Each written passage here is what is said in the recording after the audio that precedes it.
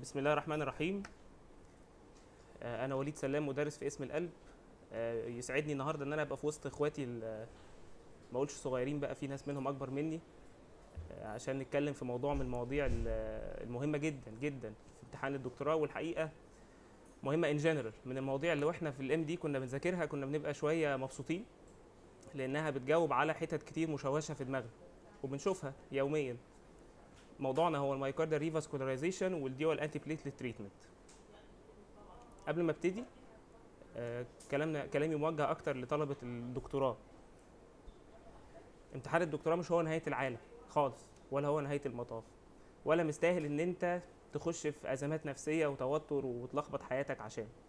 هو امتحان مهم درجة زي أي درجة خدتها من سنة أولى ابتدائي لحد ما خدت الماجستير. شوية الضغوط بتبقى عليه الحقيقة ضغوط اجتماعية أكتر منها ضغوط آه، علمية. انت بقى عندك حياتك خلاص سيتلد عندك بيتك عندك ولادك بتبقى الدنيا ملخبطة شوية. بقيت خلاص آه، معتمد على نفسك في دخلك وفي حياتك فمن هنا بيجي الضغط مش من صعوبة ال- ال- الدكتوراه. مذاكرة الدكتوراه بالنسبة لي كانت أسهل بكتير من مذاكرة الماجستير. لأن ببساطة مطلوب منك تذاكر كل حاجة. في الماجستير كنت دايما تسأل هي دي لينا ولا المستوى الدكتوراه لينا فخلاص انت وصلت لل... للوحش يعني زي ما بيقولوا. فما فيش حاجة مش عليك. إنما بالنسبة للامتحان دايما يعني بيز- بزعم يعني إن أنا من الناس اللي كانت بتعرف تحل امتحانات كويس. يعني ممكن ما بقاش أحسن واحد مذاكر بس قيل إن أنا كنت من أحسن الناس اللي مجاوبة. قبل ما تخش قبل ما تحط إيدك في ورقة الإجابة عشان تجاوب على أي سؤال ادي نفسك فرصة من دقيقتين لخمس دقائق الكلام ده ماجستير ودكتوراه. في ورقة الأسئلة. في ورقة الأسئلة.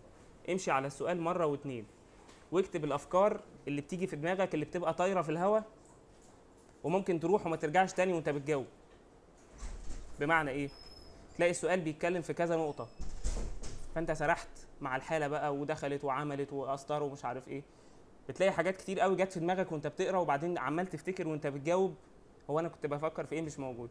أي حاجة تيجي في دماغك وأنت بتقرأ السؤال حاسس إنها relevant للسؤال اكتبها على جنب بقلم رصاص. وأنت بتجاوب. بعد ما تخلص إجابتك ارجع تاني للنقطة اللي أنت كتبتها دي.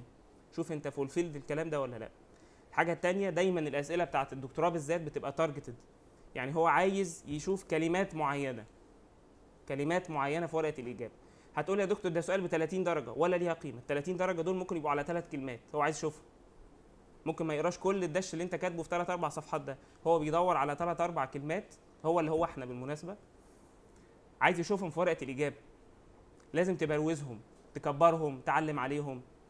بالذات بقى لو السؤال انت مش عارف إجابته.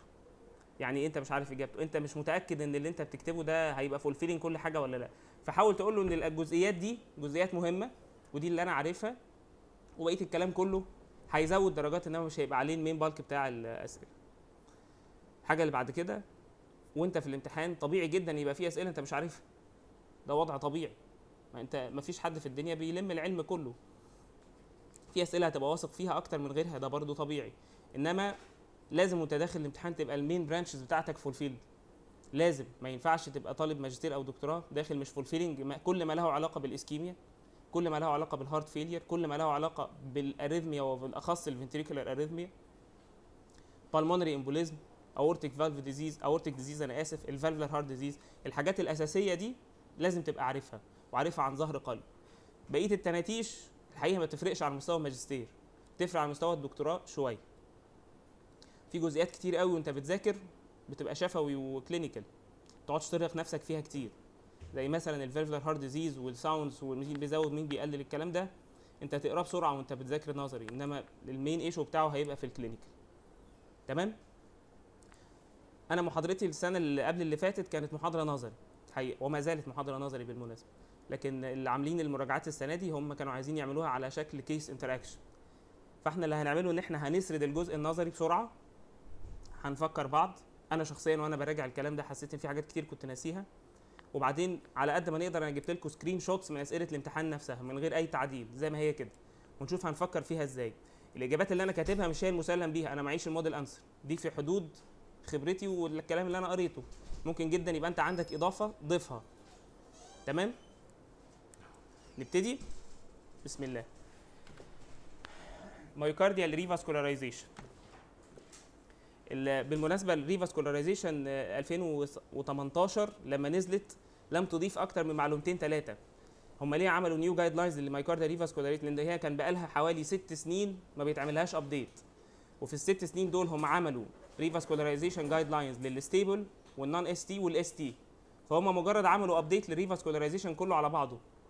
فالمعلومات اللي هتتقال كلها اللي مذاكر ال STEMI وال non-STEMI وال وال stable coronary artery disease 99% من المعلومات دي موجودة فيهم.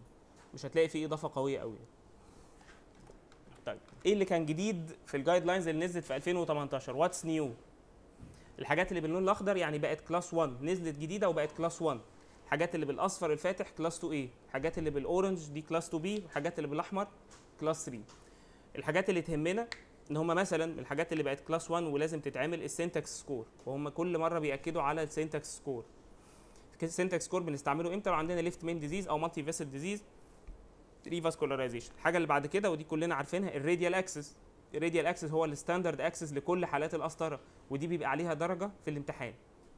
إنك تقول له لو قال لك إيه ال procedure aspect في العيان ده تقول له إن إحنا better to be done by radial access دي عليها جزء. النقطة اللي بعد كده ال drug-eluting stents في المطلق هي ال stents اللي بتستعمل. ولا تقول لي بقى عيان عنده high bleeding risk ولا تقول لي عيان داخل عملية ولا ولا ولا لأن حتى ال dual antiplatelet treatment نفسه بقى updated بقى كل الناس بتاخد ست شهور. زمان كان ال bare metal stents بياخدوا قد إيه؟ ثلاث شهور وال drug كنا بنقول سنة. هم في ال guidelines في 2017 قال لك لا كل الناس ست شهور. طيب طالما كده كده ناخد ست شهور يبقى ال drug-eluting stents أحسن. بعد كده بعد العيان ما بيعمل revascularization كانت في ال guidelines القديمة ما كانش مكتوب كلام قوي قوي على ال re-evaluation بتاع العيان اللي هو ال follow up يعني متابعة العيان. لا لازم نتابع العيان clinically use of the radial artery graft over saphenous vein graft in patient with high degree stenosis ودي جاي عليها سؤال من أسئلة الامتحانات.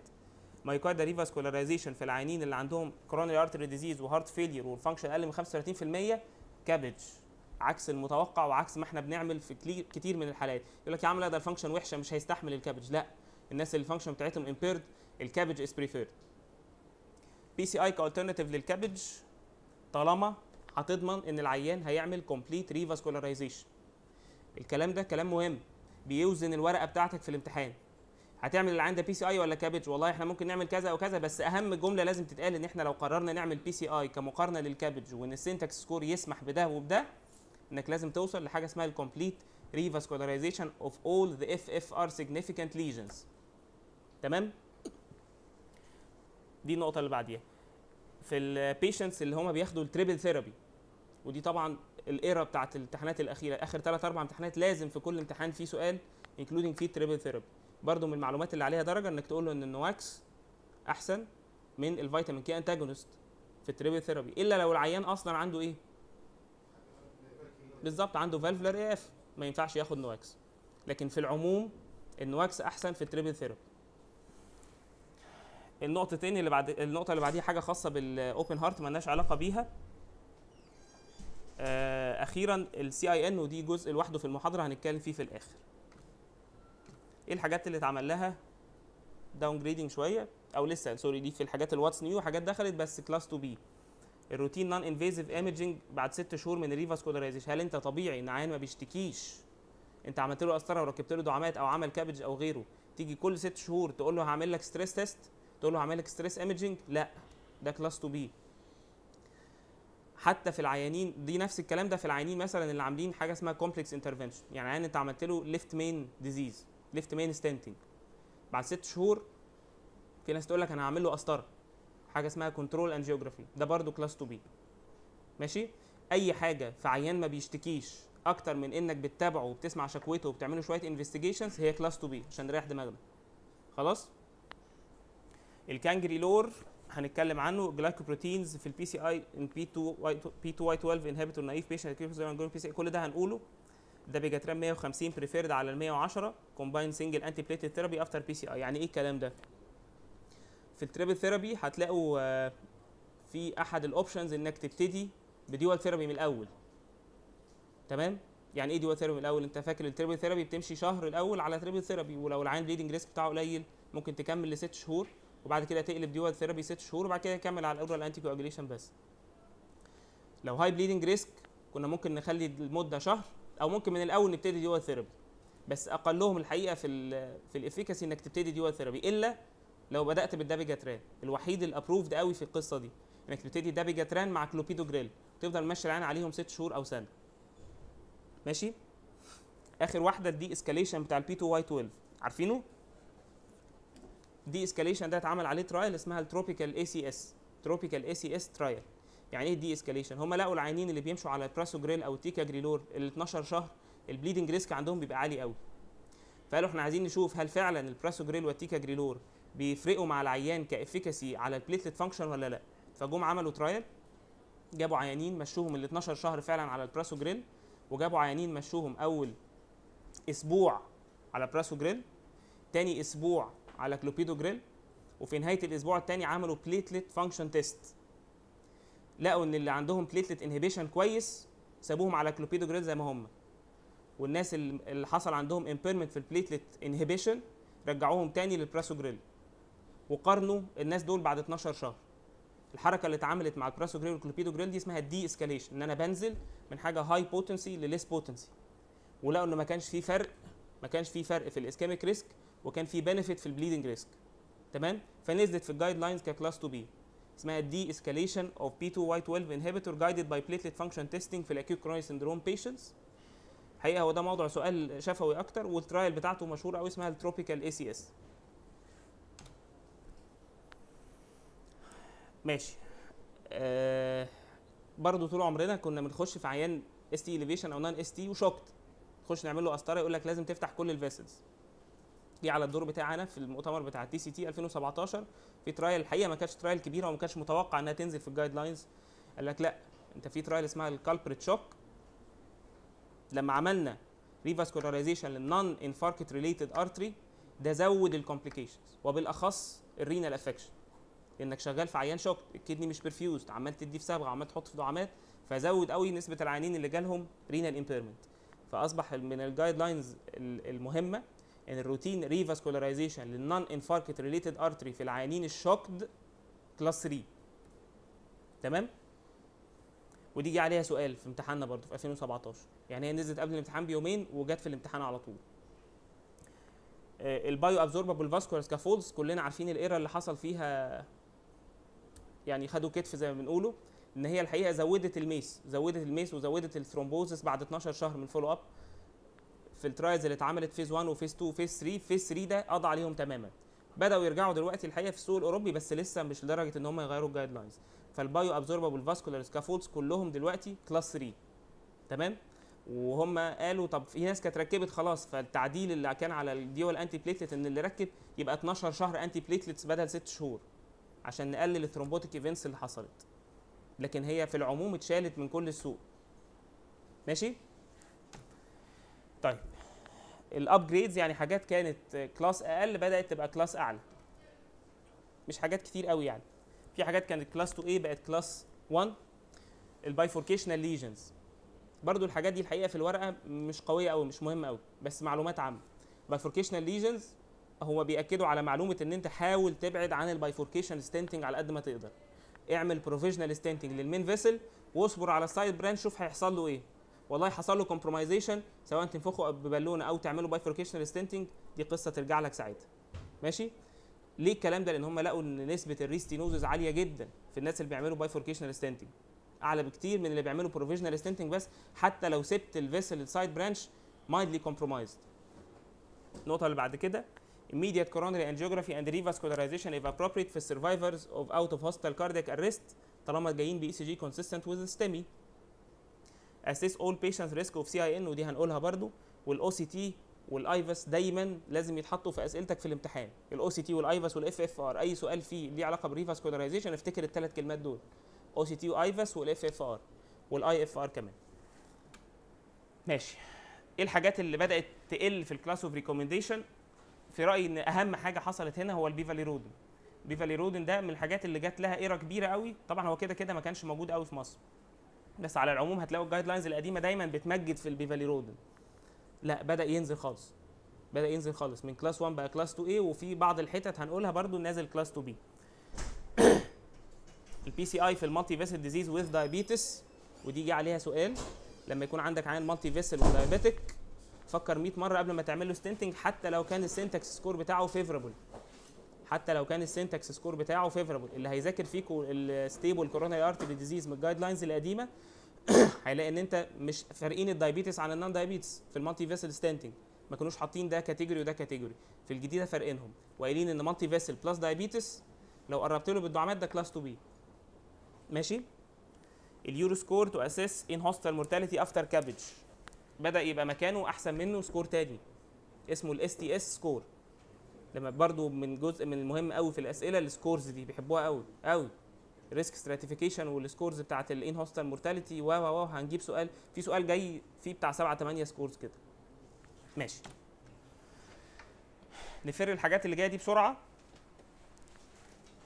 ال non invasive assessment لل ischemic patients إيه ال non invasive assessment ده؟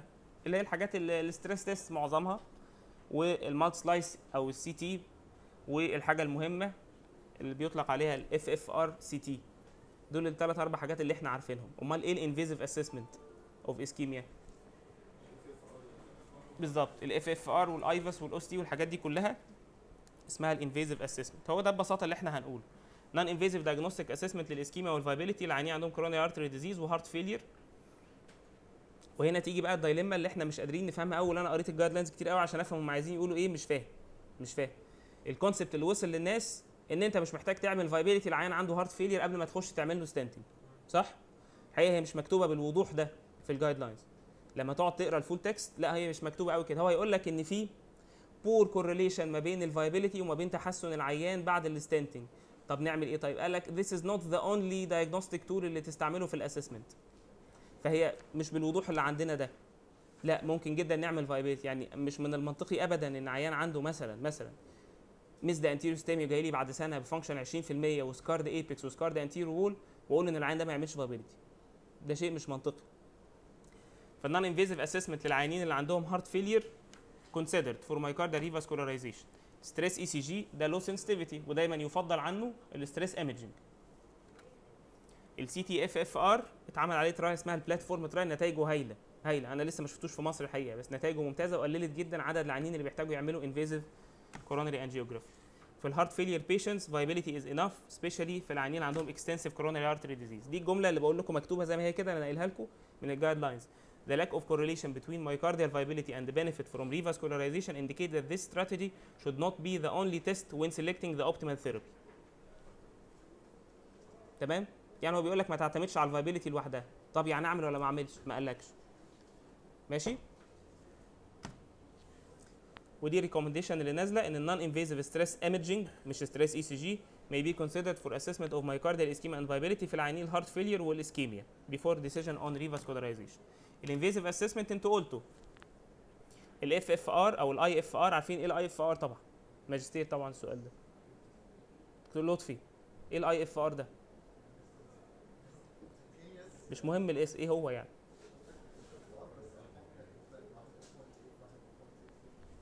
طيب ال FFR ده بيتعمل بحاجة اسمها إيه؟ إنك تعمل إيه في ال myocardium تدي دواء يعمل حاجة اسمها hyperemia ماشي؟ تدي دواء يعمل حاجة اسمها hyperemia فيطبق ال steal phenomena فيبان الفرق في ال flow ما بين proximal و distal لل lesion ال iFR بيعتمد إن هو يقيس الفرق في ال flow ما proximal و distal لل lesion في phase معينة من ال diastole من غير ما يعمل ال hyperemia لأن هم لقوا إن الأدوية اللي بتعمل hyperemia دي ليها side effects كتير قوي. ولو عملوا trials قارنوا ده بده طلعوا اتنين زي بعض. instantaneous wave-free ratio تمام؟ PCI should be considered patient vessel disease دي قلناها. وال IVUS ال IVUS مهم قوي قوي. الحقيقة ال IVUS بيتعمل روتين في أماكن كتير دلوقتي. آه بيفيدك في حاجتين. في ال lesion نفسها رقم واحد ال assessment بتاعها ودي حاجة شوية sophisticated رقم اثنين ال optimization of the stent رقم ثلاثة في حالات ال in-stent restenosis أو thrombosis بيقول لك بيعرفك حاجة اسمها ال mechanism. of stent failure ماشي؟ طيب. Stable patients. Indication for revascularization في ال stable patients. ال slide دي طبعا صادمة لأي حد ما كانش بيذاكر أيام الماجستير. إحنا عمالين نركب stents في ال lesion 70% فما فوق. طول عمرنا متعلمين ال concept ده. وما زلنا بالمناسبة بنعمل كده. بس ال guidelines بتقولش كده. لما تيجي تعمل revascularization لعيان stable أنت دايما بتفكر في حاجتين. prognosis و symptoms prognosis و symptoms يعني حاجات هتفيد العيان على مستوى حياته وحاجات هتفيد العيان symptomatic فقط وملهاش أي mortality benefit إيه الحاجات اللي تفرق مع العيان في ال prognosis left main disease أكتر من 50% proximal LAD أكتر من 50% 2 أو 3 vessel disease فيهم stenosis أكتر من 50% مع function impairment large area of ischemia في ال non-invasive assessment وال single remaining patent coronary artery ويزيد هنا نقطة مهمة قوي إن كل الحاجات اللي إحنا قلناها دي لازم يتوفر فيها شرط. إيه هو الشرط؟ اللي هيتكتب تحت ده. إن أنا عشان أخش أعمل left main أو proximal LAD أو 2 2 أو 3 vessel disease ب function impaired أو single remaining coronary artery دكتور عامل ازي حضرتك؟ لازم يتوفر شرط مهم جدا جدا. يا إما ال lesion مبدئيا أكتر من 90% لكل الناس اللي واقفة في الأوضة. ال lesion stenosis أكتر من 90% يا إما يكون عندي documented ischemia أنا عامل للعيان ده stress technetium قبل ما ادخل عامل له FFR CT قبل ما ادخل وعارف إن ال lesion دي significant أو وأنا جوه القسطرة عملت إيه؟ FFR ولقيت ال ratio بتاعتنا أقل من 8 من 10 أو iFR لقيت ال ratio أقل من 89 من 100 الحاجات دي هي اللي تفرق في ال prognosis ال left main؟ proximal LAD 2 أو 3 vessel disease مع function impairment large area of ischemia في ال non-invasive assessment وأخيرا single remaining patent coronary artery أي vessel تاني في lesion بتتوافر فيها الشروط اللي موجودة تحت ال slide دي والعيان symptomatic ولا يستجيب لل medical therapy properly تعملها دي اسمها symptomatic relief ملهاش effect على ال mortality بتاعت العيان. اتفقنا؟ طيب. عملنا قسطره للعيان ال decision كالعادة PCI ولا CABG ماشي؟ طبعا ده جه في امتحانات كتير PCI versus CABG أول ما يجي لك سؤال كده بتتصدم شوية. افتكر دايما في كلمات مهمة قوي في الامتحان. scores scores تمام؟ هتعمل إيه؟ أول حاجة هتقول إن إحنا لو عندنا two options two options ال PCI وال CABG جبت منين إن إحنا عندنا two options إن إحنا حسبنا للعيان إيه؟ SYNTAX score whatever الحالة اللي كانت جاية في الامتحان multi-vessel أو left main أو غيره حسبنا ال SYNTAX score لقينا ال SYNTAX score ولنفرض 22 فما تحت. So the patient is suitable for PCI and CABG. يجي بعد ال coronary score إيه؟ ال surgical score. ده مهم جدا جدا. تمام؟ وإحنا قلنا إن ال score اللي بقى obsolete شوية اللي هو ال EuroSCORE ودلوقتي لازم نجيب سيرة ال STS score. تمام؟ يبقى أول نقطة ال scores بتاعتنا. ال EuroSCORE 2 ده خلاص ال STS score وال SYNTAX 2 score ده بتاعنا. ال SYNTAX 2 score إحنا ما نقدرش نحسبه وإحنا قاعدين كده. ده بيبقى calculated ب calculator معين اونلاين في حاجات clinical في العيان وفي حاجات في ال anatomy بتاع ال coronary recommendation criteria criteria choice ما بين ال CABG وما بين ال PCI لازم ت assess ال surgical risk بال scores اللي إحنا قلناها ولازم ت assess ال complexity بتاعت ال coronary بال SYNTAX score بتاعنا. ماشي؟ وفي الآخر دايما تحط الجملة اللي قلناها في الأول لازم ن ensure إن العيان ده هنطلع ب complete revascularization تمام؟ طيب. Recommendation for the type of revascularization in patient with stable coronary artery disease with suitable coronary anatomy for both procedures and low predicted surgical mortality.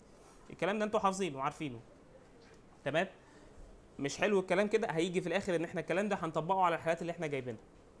لو إحنا عندنا one vessel disease one vessel disease وال vessel ده ما هواش ال proximal LAD يبقى حرام علينا نبعته CABG يبقى هتلاقي ال surgery مكتوبة كام؟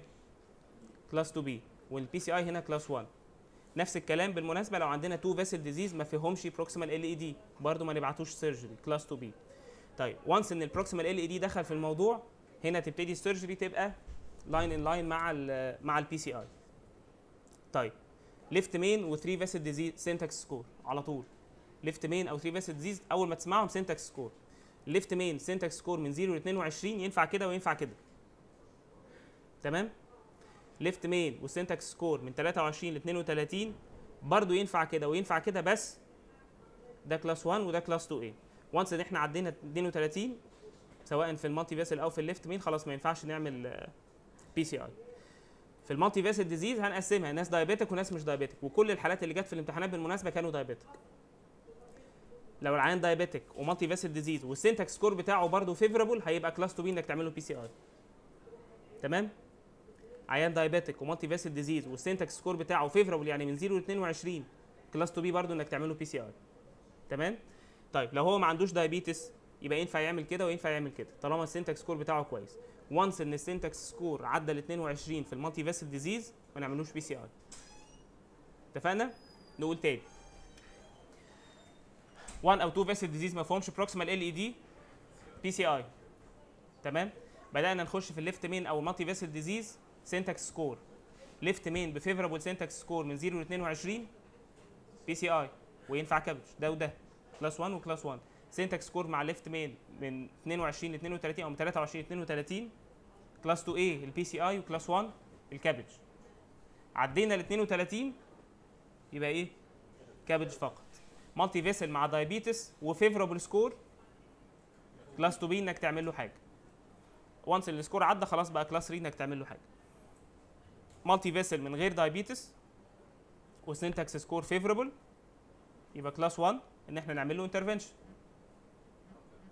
أو CABG once إن إحنا ال SYNTAX score عدى ل 22 يبقى ما ينفعش نعمل له PCI طيب. نفس الكلام هنفوت شوية عشان نلحق نقول شوف الأسئلة. Procedural aspects في العيانين اللي داخلين يعملوا PCI وهم stable لما تجي لك كلمة procedural aspects دي هتفكر في حاجات كتير. في حاجات pre procedural في حاجات intra procedural في حاجات post procedural وال procedure aspect دي بتشمل ال access اللي انت هتخش منه لازم تجيب سيرته. الدعامة اللي انت هتحطها لازم تجيب سيرتها. بالإضافة للأدوية آه هي معظم الدرجة محطوطة على فكرة ال medications وال antiplatelets وال anticoagulation و و بس لازم تجيب سيرة إن ال radial access أصبح هو ال class 1 ولازم تجيب سيرة إن ال drug eluting stents بقت هي ال class 1 وال preferred طيب recommendation of the choice of the stent مش محتاجين نقول حاجة. خلاص drug eluting stents سهلة. drug eluting stents new generations هي ال preferred في كل العيانين بغض النظر عن ال bleeding risk وبغض النظر عن احتياجنا لل surgery radial access is recommended. طبعا radial access is recommended. ال bioabsorbable vascular scaffolds class 3 class 3 في كل العيانين لأن هي زودت الثرومبوتيك ايفنتس والميس في الفولو اب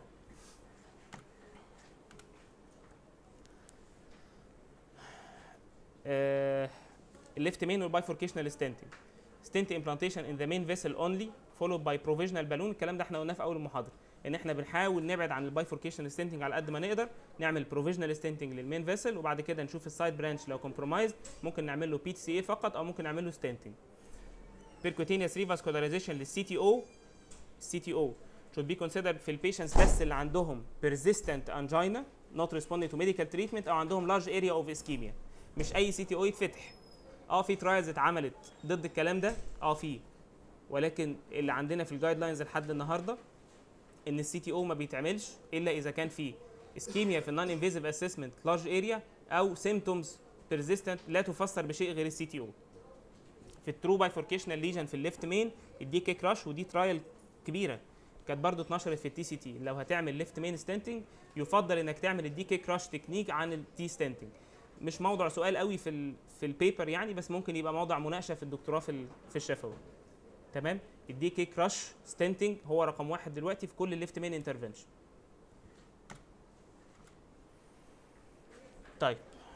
ال IVUS ال OCT قلنا دايما هنحطهم في أي سؤال فيه revascularization وال IVUS وال OCT بيفيدونا في حاجتين بيشوفوا ال mechanism of stent failure وبيعملوا حاجة اسمها optimization of the stent وبالأخص لو أنت شغال في ال left main ال unprotected النقطة اللي بعد كده ال antiplatelets دي اللي بيبقى عليها جزء كبير من الدرجة.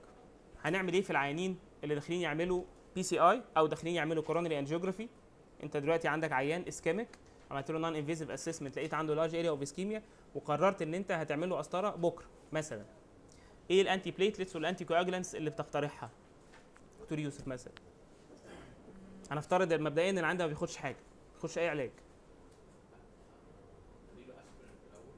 تمام. عيان aspirin naive لازم تبتدي تديله اسبرين تمام؟ هل هتبتدي بالاسبرين loading dose ولا هتبتدي بال maintenance dose لازم تدي loading dose من 150 ل 300 ال oral. ال IV مش موجود قوي في مصر فهنبتدي من 150 ل 300 loading dose من الاسبرين أو ال acetylsalicylic acid وبعدين؟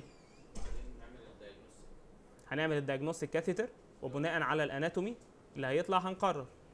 يا إما هنعمل intervention يا مش هنعمل. هنعمل intervention clopidogrel هو ده اللي هنعمل بيه loading ده ال class 1 طب هل في حاجة تانية ممكن نعمل بيها loading وهي class 2 B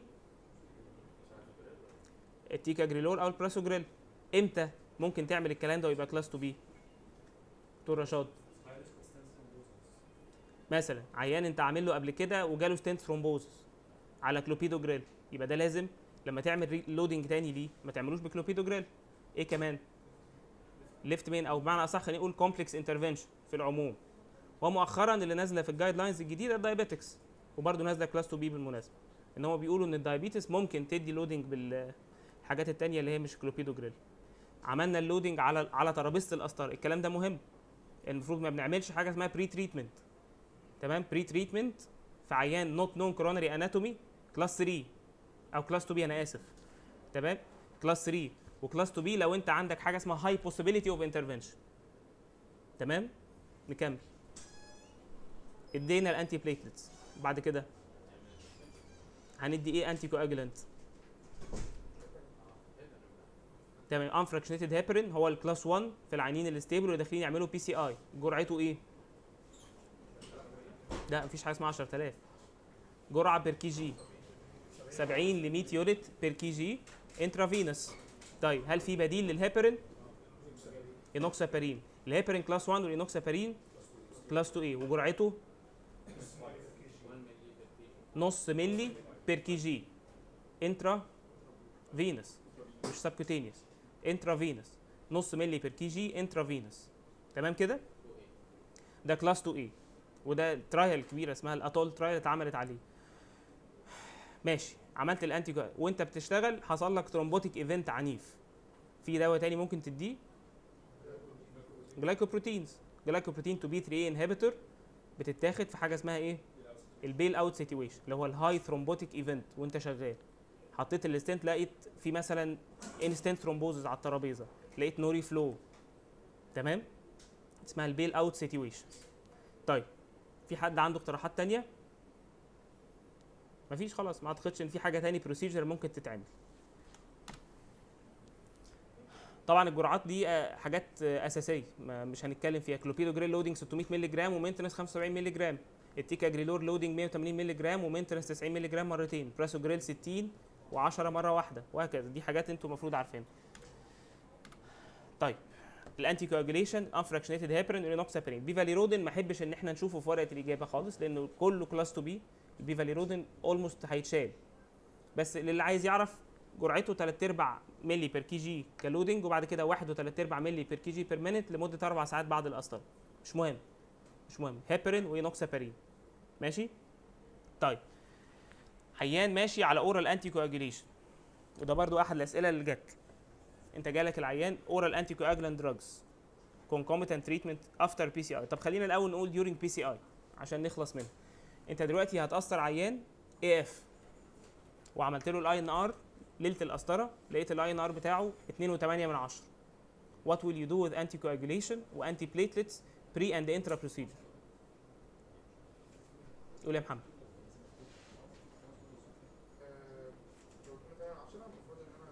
اتنين وتمانية من عشرة.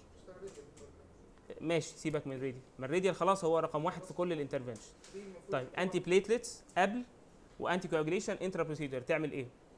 هتدي العيان ده اسبرين ولا لأ؟ عشان نبقى السؤال أسهل. هتدي العيان ده P2Y12 inhibitor ولا لأ؟ ولو هتدي هيبقى نوعه إيه؟ وهتدي anticoagulant ولا لأ؟ هتدي إيه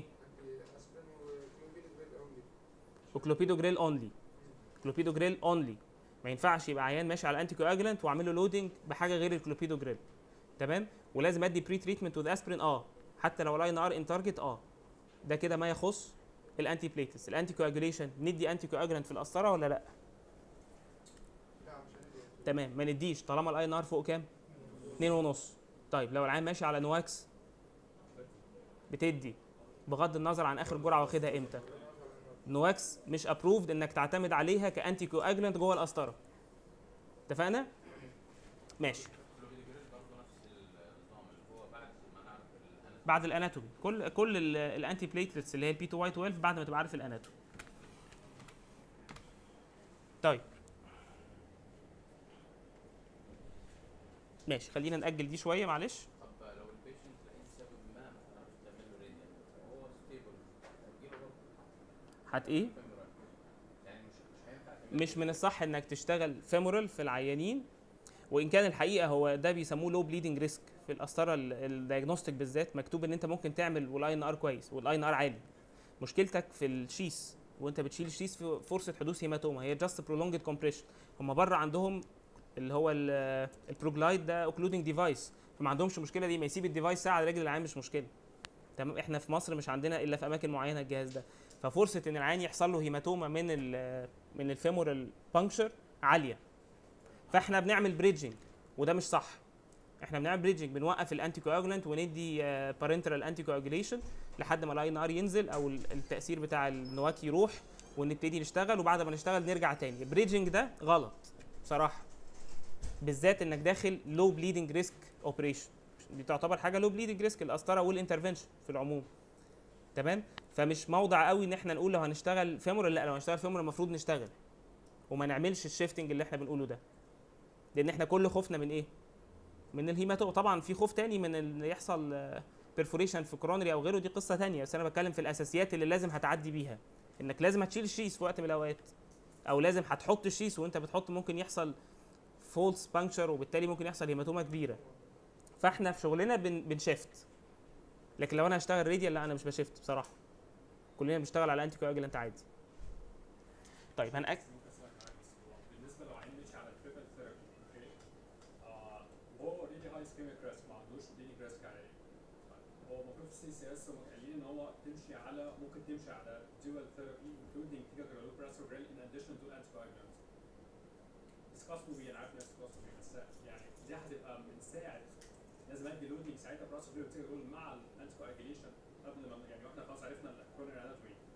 لا قول تاني مش فاهم. واحدة يعني واحدة. أنا عرفت anatomy بتاعه okay العيان أصلا ماشي على إيه؟ هو مش على triple هو ماشي على oral anticoagulant على oral anticoagulant بس. كويس. تمام طيب دلوقتي أنا صورت العيان. صورت العيان كويس. أنا على وعلى ال oral anticoagulant كويس تمام طيب هو ال CCS قايل ان ممكن class 2b لو العيان برضه نفس النظام عنده high stent thrombosis الحاجات دي كلها features اللي قالها تستعمل الحاجات الجديدة في ال triple therapy. ولا بعد ما أكون حطيت مش عارف. هي أنا ما قريتش الجزئية دي في ال guidelines الجديدة. بس ليه هتحطه وتشيل؟ مش فاهم. يعني from the start يعني ما يعني يعني ما اديش ما اديش مثلا loading clopidogrel وبعد كده بعد ما بخلص ه shift صح؟ لا. آه طبعا. لا أنت مش هت... ما, ما تعملش shift ما هو ال concept واحد. هتستعمل أو مش هتستعمل. مع anticoagulation فهي دي مثلا ما فيش اختلاف فيها ما هو برضه هيكمل على ال anticoagulation ده بعد القسطره ما هو عنده indication anticoagulation فهتفرق إيه اديته على الترابيزة الحاجات التانية أو اديته كلوبيدو جريل واحد ما أعتقد. اعتقد وأ- أنا ما قريتش الجزئية دي في ال guidelines الجديدة بس أعتقد هتبقى واحد. هتبتدي from the start بالحاجات الجديدة. طيب هنأجل ال slide دي بس عشان إحنا مجمعينها في حاجة تانية هنقولها بعد شوية. antithrombotic في ال stable coronary artery disease هنشوف الحاجات بس المهمة. كل ده إحنا قلناه خلاص.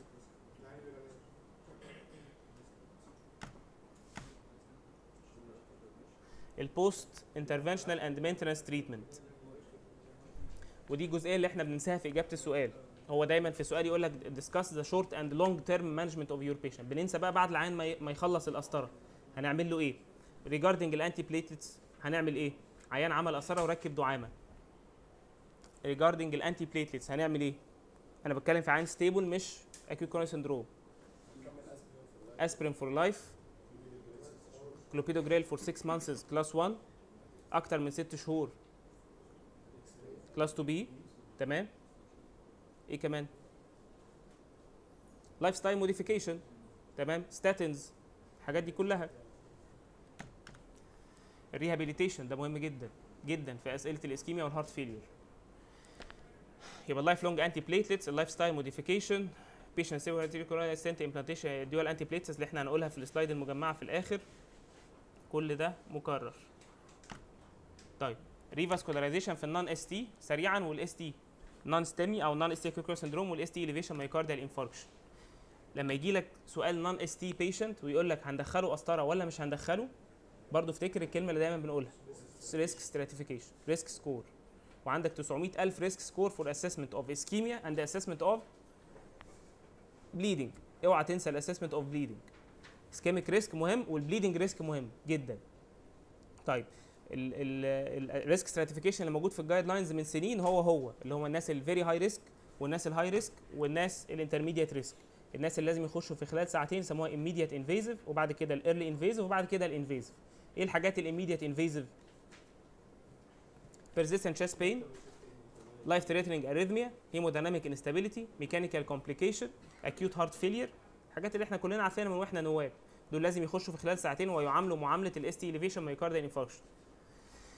في الحاجات ال high risk هم ثلاثة biomarkers positive dynamic ST-T changes GRACE score أكتر من 140 وال GRACE score ده زي ال SYNTAX score ما بنعرفش نحسبه على ورقه بيدخل أرقام معينة على calculator online وبيطلع لك ال GRACE score ال- الحاجات بعد كده ال intermediate risk حاجات كتير قوي. ال diabetic patient دول intermediate risk الناس اللي عندهم renal impairment ال post PCI ال post MI ال post CABG كل دي حاجات تخليك تدخل العيان في خلال 72 ساعة. طيب يبقى ده أول risk stratification للعيانين. تاني risk stratification لازم تبقى عارفه ال GRACE score إن أي عيان يدخل الرعاية عندنا ب non-ST acute coronary syndrome نعمل له حاجة اسمها GRACE score GRACE score items كتير قوي. أعتقد كانوا 8 items فيهم حاجات أرقام بتدخلها زي الايدج ال systolic blood pressure ال creatinine ال Killip class وفي حاجات yes or no هل في عنده ST changes ولا لأ؟ هل في عنده biomarkers positive ولا لأ؟ آه، هل حصل له cardiac arrest ولا لأ؟ هم كانوا 8 حاجات أو 7 ل 8 حاجات. ماشي؟ أنت مش مهم قوي تبقى عارف ال items دي بس يبقى شكلها لطيف لو حطيتها في الورقة برضه. إن ال GRACE score ده من ال scores المهمة جدا جدا. Global Registry of Acute Coronary Syndrome Event ده مهم جدا إن إحنا نأسس العيانين اللي هيحتاجوا نمشي معاهم في سكة ال invasive assessment أو اللي يمشوا معاهم في سكة ال non-invasive assessment أي حد ما عندوش حاجة من ال criteria دي يعامل معاملة إيه؟ stable non-invasive assessment of ischemia ال procedural aspects في ال non-ST patients نفس الكلام. قول يا محمد مصطفى. عيان non-ST إحنا قررنا ان إحنا هندخله يعمل قسطرة. هنعمل إيه؟ pre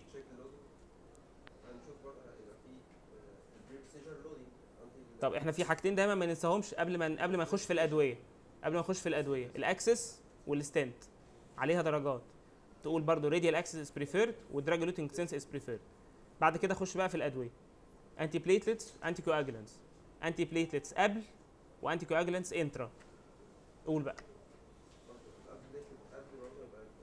الاسبرين والفلوبينيجريل بس الجرعات اللي هي مختلفه اللي هو هندي لودنج دوز من الاسبرين عادي خالص 150 ل 300 وهندي 300 جرام في الفلوبينيجريل ك بس كالوري إحنا لو هيش- هيدخل الاسرار المفروض هن- هنديله الاربعه الباقيين لو هيفضل في الرعايه هن- هنسيبه بال- بال loading اللي هو اول اربعه بس طيب لو إحنا افترضنا ان عيان نون اس تي نون اس تي هتدي له antiplatelets اسبرين plus ticagrelor لو كتبت أي حاجة غير ال ticagrelor رقم واحد أنت فقدت جزء كبير قوي من الدرجة. تمام؟ whatever the plan of management invasive or non-invasive ticagrelor is class 1 هيدخل قسطرة مش هيدخل قسطرة؟ class 1 لأن ال PLATO trial اتعملت على على الاثنين عيانين. اللي عملوا واللي ما عملوش. تمام؟ يبقى اسبرين رقم 2 ticagrelor loading على طول. طالما ما فيش contraindication طالما ما فيش contraindication هيدخل أو مش هيدخل. ticagrelor تمام؟ خلينا الأول نخلص ال antiplatelets طيب في عندنا contraindication لل ticagrelor هيبقى كلوبيدو جريل طب ال prasugrel هنديه في عيان مش هيدخل قسطرة؟ لا لازم يكون هيعمل قسطرة أو كمان يفضل نكون صورناه.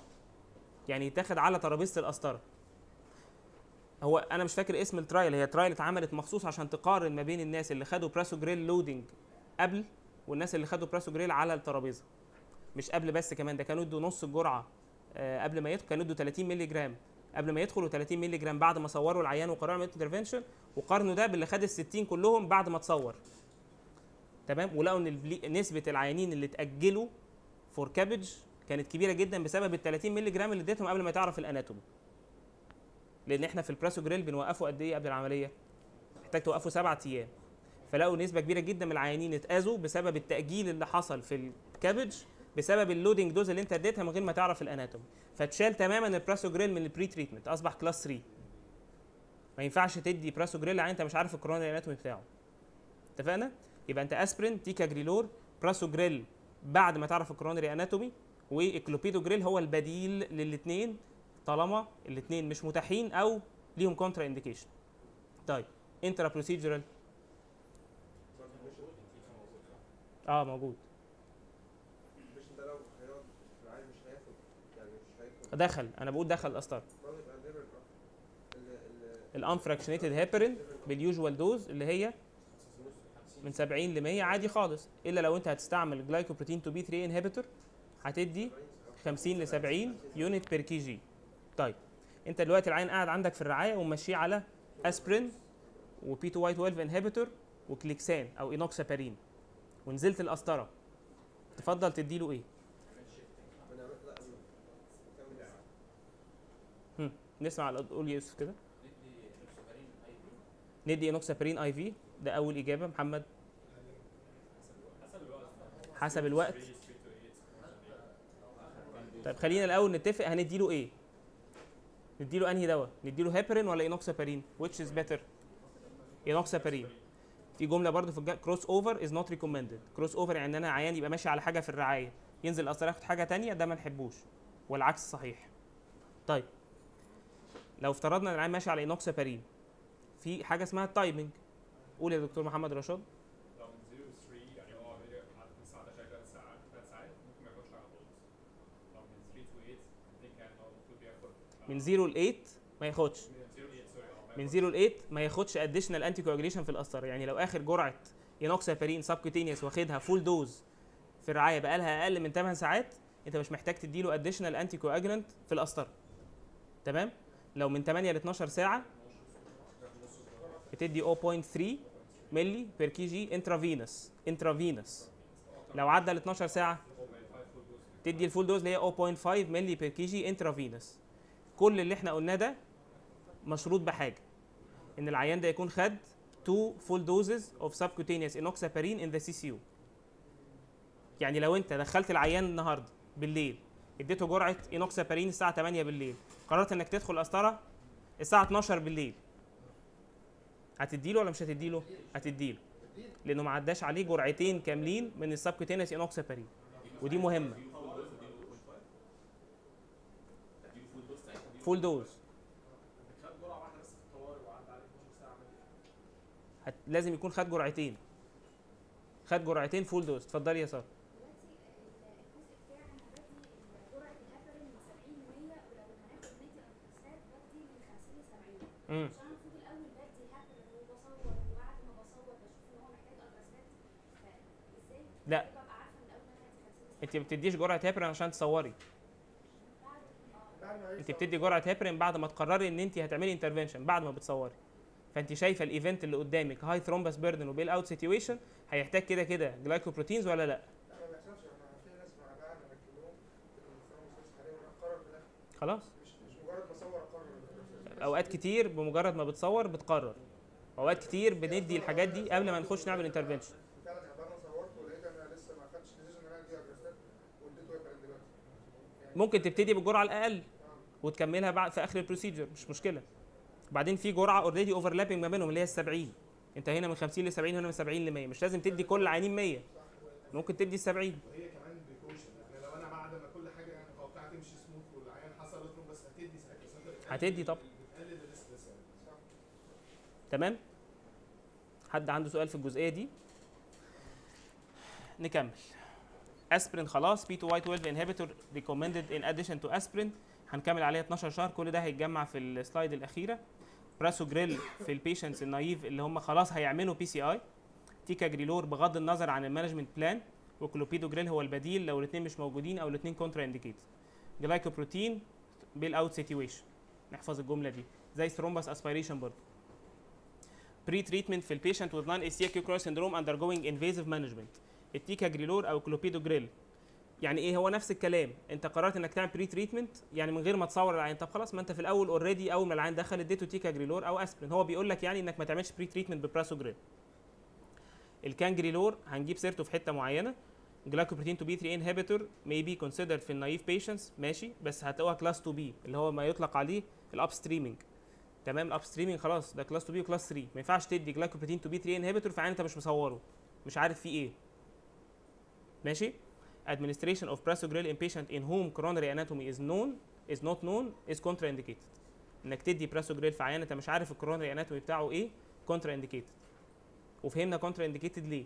لأن لو صورته لقيته محتاج urgent surgical intervention أنت حكمت إن العيان هيقعد سبعة أيام على ما ال prasugrel يروح من جسمه. Peri interventional therapy ال anticoagulation is recommended طبعا. It is recommended that anticoagulation is selected according to ischemic and bleeding risk and according to the efficacy ماشي ال unfractionated heparin يظل هو class 1 وال enoxaparin يظل class 2a. ال patient اللي على ال fondaparinux ودي معلومة قديمة. ال fondaparinux زود حاجة اسمها ال catheter induced thrombosis ما بيعتمدش على ال fondaparinux whatever جرعته إيه؟ whatever جرعته إيه خالص ك anticoagulant جوه القسطره تمام؟ هو ملوش غير جرعة واحدة بالمناسبة. يعني بالنسبة لل ischemia هو ملوش غير جرعة واحدة 2.5 مللي جرام once daily وملوش قيمة الحقيقة قوي في ال ischemia إلا لو أنت في مستشفى بتمشي conservative تماما أو يقال في عيانين ال HIT ال bivalirudin may be considered. خلاص إحنا قلنا class 2b وآخر جملة اللي إحنا قلناها ال crossover ما نحبوش ابدا class 3 النقطة بس اللي هي تالت واحدة من تحت دي ودي للنواب بتوعنا. Discontinuation of parenteral anticoagulation should be considered immediately after invasive procedure. تلاقي العيان دخل وعمل قسطرة وفتح ال vessel وطالع ب TIMI 3 flow و myocardial blush grade 3 ومع ذلك still ماشي على ال anticoagulant في الرعاية. ده مش صح. once ان انت فتحت ال infarct related artery مش كل ال vessels كمان. يعني لو انت سايب 80% lesion في حتة هتعملها بعدين أو أو أو ده مش indication إنك تمشي عليها على anticoagulation بعد ما تعمل invasive management لل culprit vessel لازم توقف ال anticoagulant كله. كله. ماشي؟ إلا لو في bailout situation طالع ب TIMI 2 أو TIMI 1 blush grade مش حلو. indication تاني لل anticoagulation غير ال ischemia.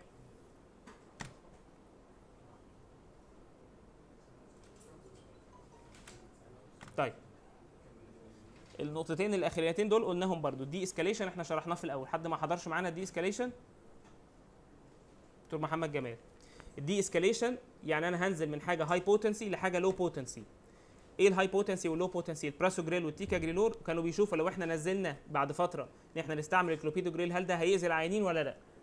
عملوا trial كبيرة اسمها ال TROPICAL ACS trial جابوا مجموعة عيانين ادوهم prasugrel 12 شهر من ساعة ال acute ischemia لحد ال 12 شهر ماشيين على prasugrel بس. مجموعة تانية من العيانين ادوهم prasugrel أسبوع بعد أسبوع قلبوهم على كلوبيدوجريل بعد أسبوع من الكلوبيدوجريل عملوا لهم platelet function test وشافوا ال degree of platelet inhibition هل الكلوبيدوجريل كان كافي إنه يعمل platelet inhibition كويس ولا لأ؟ ده بالبلدي يعني. العيانين اللي كان عندهم effective platelet inhibition كملوا على الكلوبيدوجريل بقية السنة. والعيانين اللي كان عندهم مش effective platelet inhibition رجعوهم تاني لل prasugrel وقارنوا الثلاثه أو ال two arms دول ببعض. لقوا إن مفيش فرق في ال ischemic events خالص؟ خالص. تمام؟ بل بالعكس كان في فرق في الإيه؟ في ال bleeding risk. قللت ال bleeding risk اللي بيز- بيزايد مع ال prasugrel ومن هنا عمموا الجزئية دي كمان على ال ticagrelor. ونزلوها في ال guidelines بس كانت class 2 B. واعتمادك على ال platelet function test ودي نقطة تانية. إن أنت ولنفترض إن في عيان قررنا إن إحنا نعمل له intervention أنا آسف هيعمل non-cardiac surgery يعني. في خلال أول ست شهور من القسطره وأنت مش عايز توقف الكلوبيدوجريل الخمس أيام اللي مكتوبين في ال guidelines فتفضل كل يوم تعمله platelet function once إن platelet function نزلت رجعت لطبيعتها يعني تروح مدخله الجراحه ده class 2 B دي الجملة الثانية اللي هنحطها دلوقتي. ال de-escalation مفهوم لأن ده جه قبل كده. de-escalation of P 2 Y 12 inhibitor اللي هو switching from prasugrel أو ticagrelor ل clopidogrel guided by the platelet function test may be considered ك alternative في ال dual antiplatelet strategy في العيانين ال ischemic اللي هم unsuitable إن يمشوا ال 12 شهر على potent antiplatelet نقطة بعد كده آه, آه اللي هو ال- الحاجة اسمها ال ischemic dose بتاعة ال rivaroxaban برضه دي بيبقى بتبقى لطيفة إن أنت تقولها في في السؤال. في العيانين اللي عندهم حاجة اسمها high ischemic risk with no previous stroke or TIA high ischemic risk و no previous stroke أو TIA و low bleeding risk ممكن تمشي العيانين دول على اسبرين و clopidogrel و rivaroxaban 2.5 مللي جرام مرتين. 2.5 مللي جرام مرتين في اليوم. تمام؟ الكلام ده ممكن يستمر لمدة قد إيه؟ سنة. بس بشرط clopidogrel. once إن إحنا حطينا NOAC نفتكر ال clopidogrel. once إن إحنا دخلنا في ال era بتاعت ال triple therapy ما ده يعتبر triple therapy. مش كده؟ يبقى كلوبيدو جريل. يبقى القاعدة دي ما تتطبقش مع ال ticagrelor ولا مع ال prasugrel. يبقى عيان ما جالوش stroke أو TIA قبل كده. و high ischemic risk و low bleeding risk ممكن تفكر إنك تحط له rivaroxaban مع اسبرين وكلوبيدو جريل. بس الجرعة 2.5 مللي جرام مرتين والمدة سنة. اتفقنا؟ وده class 2 B. والجملة دي مش جديدة بالمناسبة كانت موجودة قبل كده. ال trial أنا مش متأكد من اسمها مش فاكر هي الأطلس ولا لأ. أعتقد اسمها إيه يا موسى؟ أطلس آه. ATLAS trial. اتعملت مخصوص على الجزئية دي. تمام؟ هندي additional rivaroxaban عشان ده high ischemic risk patient ولنفرض مثلا عيان جاله قبل كده stent thrombosis على أسبرين وكلوبيدو جريل.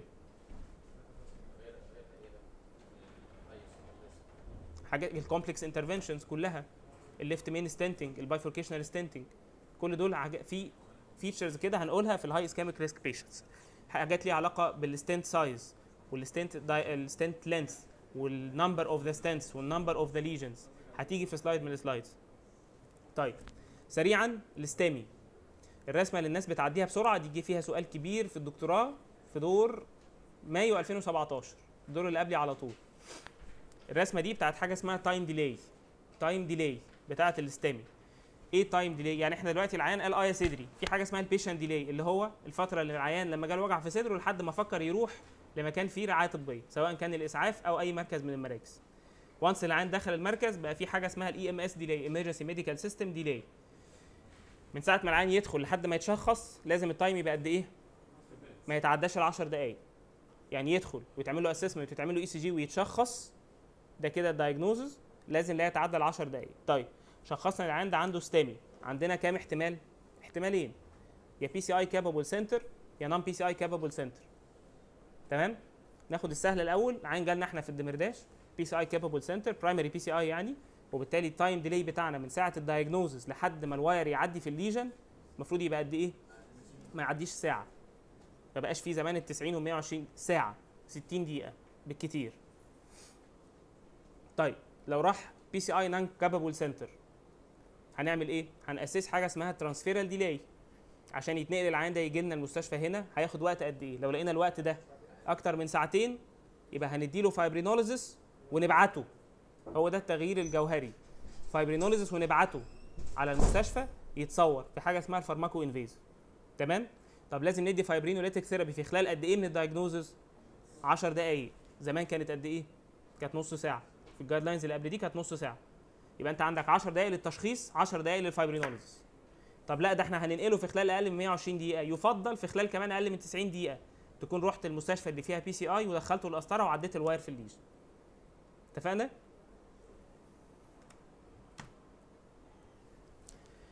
طيب. Indications for revascularization للعيانين ال STEMI ال reperfusion therapy indicated في كل العيانين في خلال أول 12 ساعة class 1 ومن 12 ل 48 ساعة class 2 يبقى إحنا أي عيان هيجي لنا ST elevation و chest pain جاله في أي وقت في خلال اليومين الأخرانيين يبقى لازم يدخل قسطره بغض النظر هو دلوقتي عنده symptoms of ongoing ischemia ولا لأ. يعني ممكن يقول لك أنا جالي chest pain نص ساعة امبارح بالليل. امبارح الصبح. ودلوقتي ال ECG فيه anterior بس العيان زي الفل. يدخل ولا ما يدخلش؟ يدخل طبعا. زمان كانش يدخل على فكرة.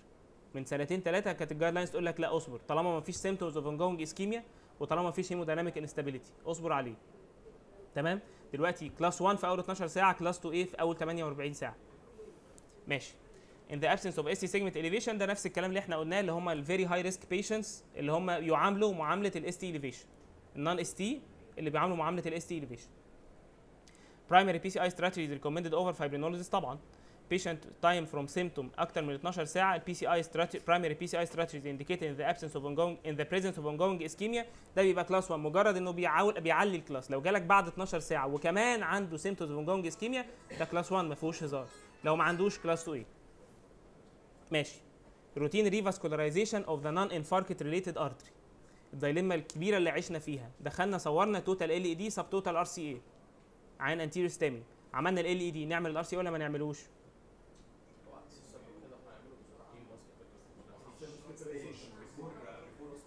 According to the recent guidelines. ده سؤال جه. حقيقه أنا احترت. نعمله ولا ما نعملوش؟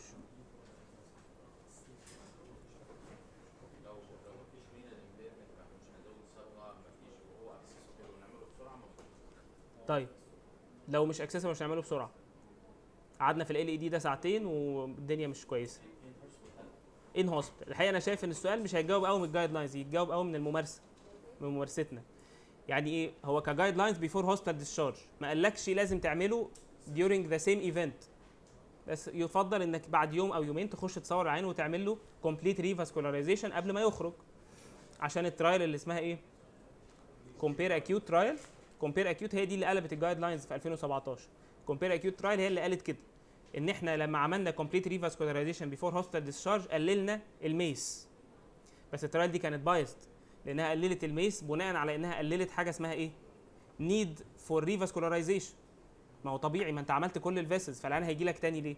ما هو جزء من ال MACE ده إن العيان جه عشان يعمل vessels تانية.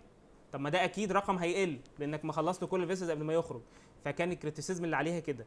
بس هي قدرت تغير ال guidelines يبقى routine revascularization of the non-infarct related artery should be considered during hospital stay أو before hospital discharge هو لو انت هتجاوب السؤال ده ممكن تقول زي ما الدكتور يوسف قال كده according to the primary procedure كان عامل إزاي was it a lengthy complicated procedure with high volume of contrast ساعتها ما انتش محتاج ان انت والعيان hemodynamically مش كويس related artery واخرج الدنيا عدت في 10 دقايق ال wire والبالون وال stenting وخارجين بتعمل 3 flow والعيان كويس مش هناخد دقيقتين ونعمل ال vessel التاني؟ ممكن نعملها. أنا شايف إن ممكن تبقى دي الإجابة. لكن هو لازم تحط له الجملة دي وتقول له إن دي بقت class 2 a. تمام؟ CABG should be considered in patient with ongoing ischemia and large area of jeopardized myocardium if the PCI of the infarct-related artery cannot be performed. وده منطقي. وجي عليه أحد الأسئلة هنقولها برضه.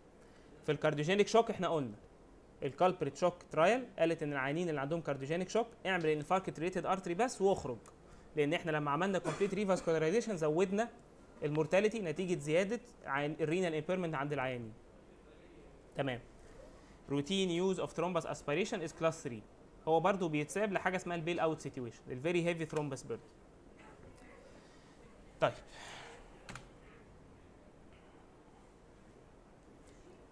آه خلينا نفوت بس شوية حاجات معلش عشان نلحق نشوف الأسئلة. الحاجات المهمة بس هنقولها. دي المهمه دلوقتي دخل العيان عمل CABG أو عمل stenting ودلوقتي الوقت الحالي عندنا signs of ischemia تاني. وعملنا له non-invasive assessment لقينا أن الراجل ده فعلا لازم يخش يتصور.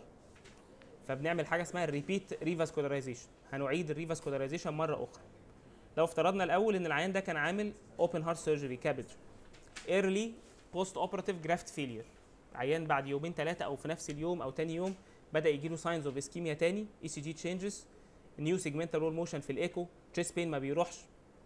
فأصبح العيان لازم يتعمل له coronary angiography post CABG according لل universal definition بتاع ال MI It is recommended either emergency reoperation or PCI is decided upon ad hoc consultation. ما تاخدش القرار لوحدك. وأنت في القسطره هات الجراح وهات بتاع التخدير ونقعد نشوف العيان ده ينفع نعمل له intervention ولا أصلح له إن إحنا نخش نعمل له redo CABG تاني؟ دايما ال heart team ده برضو من الكلمات المحببة لينا قوي واللي بتطبق فعلا بره. ال heart team أنت وبتاع الجراحة وبتاع التخدير أنتوا الثلاثه مع بعض. طيب هتعمل إيه بقى؟ لو أنت دخلت لقيت العيان عنده occluded graft إيه ال plan بتاعتك؟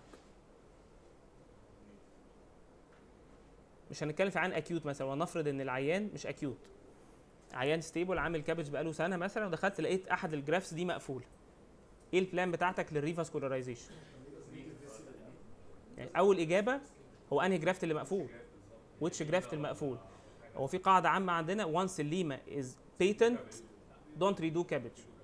حاول ما تعملش CABG طالما ال LIMA patent على ال LAD أو طالما ال internal mammary بغض النظر LIMA أو RIMA يعني. تمام؟ فانت هتقولي لو ال LIMA is occluded لو ال LIMA is occluded better to redo CABG لو أنا هقدر أستعمل ال internal mammary بتاع الناحية الثانية تمام؟ غير كده يفضل إنك تشتغل على ال native vessel ده رقم اتنين. غير كده يفضل إنك تشتغل على ال venous graft ده آخر option إنك تخش تعمل intervention في venous graft ده أسوأ حاجة في الدنيا. وساعتها ممكن تستعمل حاجة اسمها إيه؟ ال protection device ال protection device هو كان class 1 ونزل في ال guidelines بقى class 2 a. بس ما زال موجود. protection device لأن ال venous graft بيبقى ال circulation فيه stagnant بيبقى فيه thrombi كتيرة جدا فوأنت بتعمل intervention وارد جدا يحصل distal embolization فبتحط حاجة اسمها protection device تمام؟ طيب.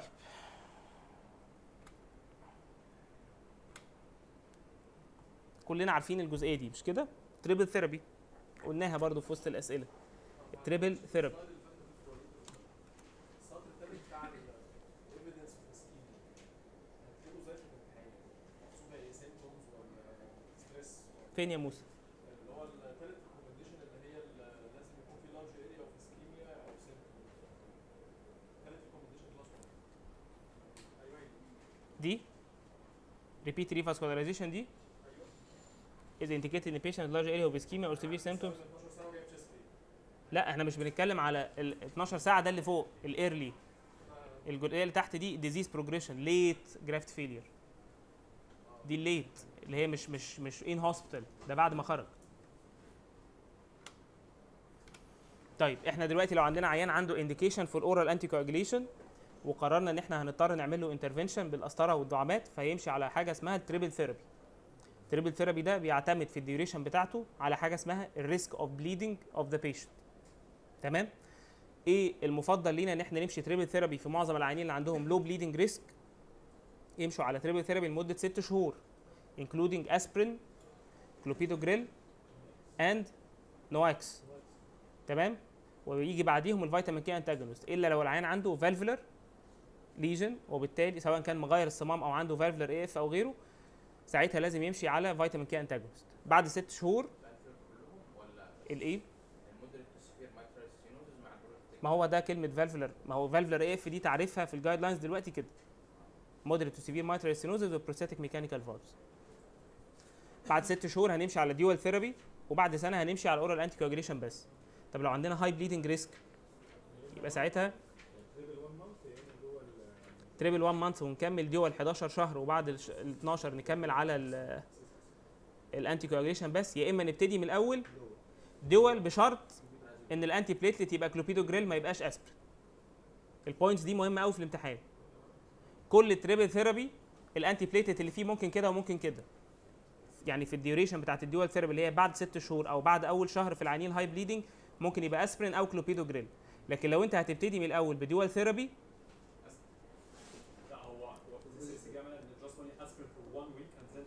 ليها ليها آه يعني ليها نقد بس هي مكتوبة صريحة في ال guidelines مكتوبة في ال recommendations بقى. clopidogrel clopidogrel هو اللي بيتاخد لو أنت بدأت من أول يوم ب dual therapy وال anticoagulant يفضل يبقى إيه؟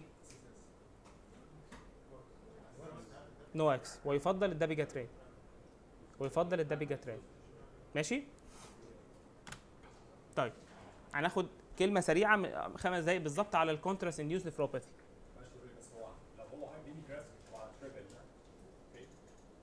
نفسها بتاعتها بتاعت ال rivaroxaban وال dabigatran هيبقوا كام؟ rivaroxaban ممكن تنزل ل 15 15 الوحيد ال accepted إنك تنزل بيه 15 وال dabigatran 150. 110 ولا لازم 150 150 امم ماشي؟ الوحيد ال accepted ال low dose بتاعته هو ال rivaroxaban تمام؟ عشان ال PIONEER AF اللي اتعملت عليه. غير كده لا. contrast induced nephropathy هنفوت بس الجزئية الأولانية بتاعة التعريف وبتاع ونتكلم على طول في الجزء اللي يهمنا. إزاي نمنع ال contrast induced nephropathy risk of the CIN depends on the patient related factors زي ال baseline kidney function ال diabetes ال heart failure ال hemodynamics بتاعت العيان ال dehydration ال females بياخدوا score أعلى ال advanced age الانيميا حاجات كتير جدا. كمية ال contrast اللي انت هتديها حصل bleeding peri procedure ولا لأ؟ when the ratio of the total contrast volume ودي موجودة ومكتوبة ومهمة دايما تحسب كده كمية الصبغة اللي انت خدتها تقسمها على ال GFR بتاع العيان. لو ال ratio دي عدت ال 3.7 من عشرة يبقى ال risk of CIN عالي. عالي. طيب يعني لو افترضنا إن أنت وزنك 100 كيلو يبقى أنت المفروض أنا ما اعديش كمية صبغه قد إيه؟ 370 مثلا عشان للتسهيل يعني. تمام؟ وهكذا. ال risk بتاعنا بيزيد جدا لما بنعدي ال ratio اللي هي 3.7 من عشرة دي. وبالتالي أصبحت ال recommendations كالآتي. أول حاجة وأهم حاجة وهتفضل طول عمرها أهم حاجة ال hydration adequate hydration 12 ساعة قبل القسطره و24 ساعة بعد القسطره ده أهم preventive tool لل CIN تاني حاجة ال type of contrast وال amount of contrast ال type بنستعمل حاجة اسمها ال low osmolar أو ال iso osmolar اللي هي الموجودة دلوقتي الحقيقة. وال amount اللي إحنا قلناها بحيث إن إحنا ما نتعداش ال 3.7 من ال GFR وكان في جملة في ال guidelines القديمة إن أنت ما تديش أكتر من 4 مللي لكل كيلو.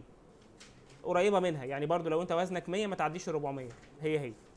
طيب ال statins ودي بننساها في العيانين ال statin naive اللي ما بياخدوش statins يفضل ان انت قبل ما تخش تعمل قسطره تديهم high dose من ال statin up to انك تدي rosuvastatin 40 مللي جرام. ماشي؟ من 20 ل 40 يعني ممكن توصل ل 40 أو أتورفا ستاتين 80 مللي جرام. بتقلل ال risk بتاع ال CIN اتفقنا؟ يجي بعد كده بقى حاجة اسمها ال- ال hemofiltration هنجيب سيرتها. طبعا ال hemodialysis class 3 prophylactic hemodialysis ده مش مقبول. whatever ال kidney function بتاعت العيان كانت كام؟ قد إيه بمعنى إيه؟ dose واحدة قبل ما يدخل القسطره وهو كده كده لو طلع فيه حاجة هيمشي على statins بعد كده. طيب نكمل. prophylactic hemofiltration ست ساعات قبل ال complex PCI وال hemodialysis class 3 ال score ده مش مش score approved قوي بس هو score موجود من ضمن كذا score online لل risk of CIN في كذا item included في ال score ده عشان تحسب ال risk في حاجات بتاخد score خمسة في حاجات بتاخد ثلاثة وفي حاجات بتاخد واحد وهكذا. الحاجات الخمسة الحاجات ال major عيان hypotensive عيان محطوط على intra aortic balloon عيان عنده heart failure عيان بعد كده سنه فوق ال 75 بياخد أربعة عيان عنده أنيميا أو diabetes بياخد ثلاثة كل 100 مللي بتديهم صبغة بتزود ال score واحد. وأخيرا الكرياتينين بياخد score زي ما أنتم شايفين من 2 أو 4 أو 6 once إن ال score ده عدى ال 16 نسبة إن العيان ده يجيله CIN بتعدي النص بتعدي 50% تمام؟ وعلى فكرة عيانين سهل جدا يعدوا ال 16 انت عندك في حاجات inevitable بتلاقيها. ال diabetes مثلا creatinine impairment مثلا. تمام؟ فال score ده ممكن نبقى عارفينه من ضمن ال scores اللي نقولها في الامتحان لو اتسألنا على risk of CIN okay؟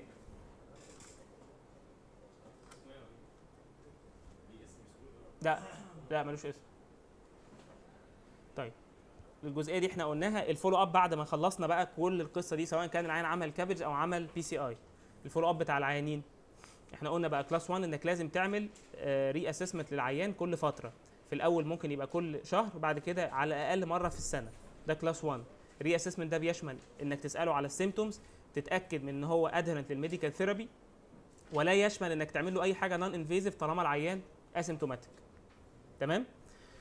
It is recommended the secondary preventive measures including medical treatment, lifestyle changes are started and reinforced في ال re-evaluation بتاع العيان. It is recommended that the patients are re-evaluated after myocardial revascularization زي ما قلنا بعد ثلاث شهور وبعد كده مرة كل سنة على الأقل to assess the symptoms و و إلى آخره. طيب نيجي بقى. لل... لا مش دي برضو اللي بعديها coronary angiography is recommended طبعا لو العيان بيشتكي وعمل non-invasive test فلقيت عنده large area of ischemia أكيد تمام ده لازم هتدخله يعمل قسطره تاني an imaging test should be considered in patient with prior revascularization over stress. ولو هتعمل للعيان ده حاجة ما, يفضلش إنك تعمل له stress ECG تعمل stress imaging أحسن. الثلاثه الأخرين دول هم المهمين بالنسبة لي. عيان asymptomatic ما بيشتكيش. surveillance by non invasive imaging is class 2B هو ما بيشتكيش أصلا. الحاجة اللي بعد كده في ناس تعمل حاجة أصعب كمان إن اللي عامل complex intervention أو high risk intervention يقول له هعمل لك control angiography بعد 3 ل 6 شهور. ده برضه class 2B routine non invasive imaging based stress test may be considered بعد سنة من ال PCI وبعد خمس سنين من ال CABG لو العيان ما بيشتكيش. كل الحاجات دي ما تتكتبش قوي في الامتحان. أو تتكتب ونبقى كاتبين جنبها إنها class 2B ماشي. معظم الكلام اللي هنقوله هنا هو كلام مكرر خلاص عشان كده إحنا هنعدي عليه على طول. ال dual antiplatelet duration scores ماشي؟ لازم نبقى عارفين ال scores دي. PRECISE-DAPT وال DAPT همشي على dual antiplatelet لمدة قد إيه؟ ما تحط ما أو مش اول ما يحط لك كده تقول له على طول ست شهور. لأ في حاجة اسمها حضرتك ischemic score وفي حاجة اسمها bleeding score أشهر اتنين أو أحدث اتنين محطوطين في ال guidelines أنا أنقلهم زي ما هم. ال DAPT score بيشوف ال ischemic risk ال PRECISE-DAPT score بيشوف الايه ال bleeding risk ال items نفسها بتعبر عن الكلام ده. إيه ال items اللي في ال PRECISE-DAPT score hemoglobin leukocytic count creatinine clearance ال age وال prior bleeding وال score بتاعنا لو عدى ال 25 يبقى العيان ده عنده bleeding risk عالي. PRECISE-DAPT score لو عدى ال 25 يبقى bleeding risk عالي. يبقى يحبذ ساعتها إنك تمشي على short duration من ال antiplatelets لو أقل من 25 ممكن تدي ال standard treatment بتاعك اللي هو بيبقى 12 شهر. اتفقنا؟ على النقيض ال DAPT score هتلاقي ال items بتاعته كلها بتزود ال ischemia.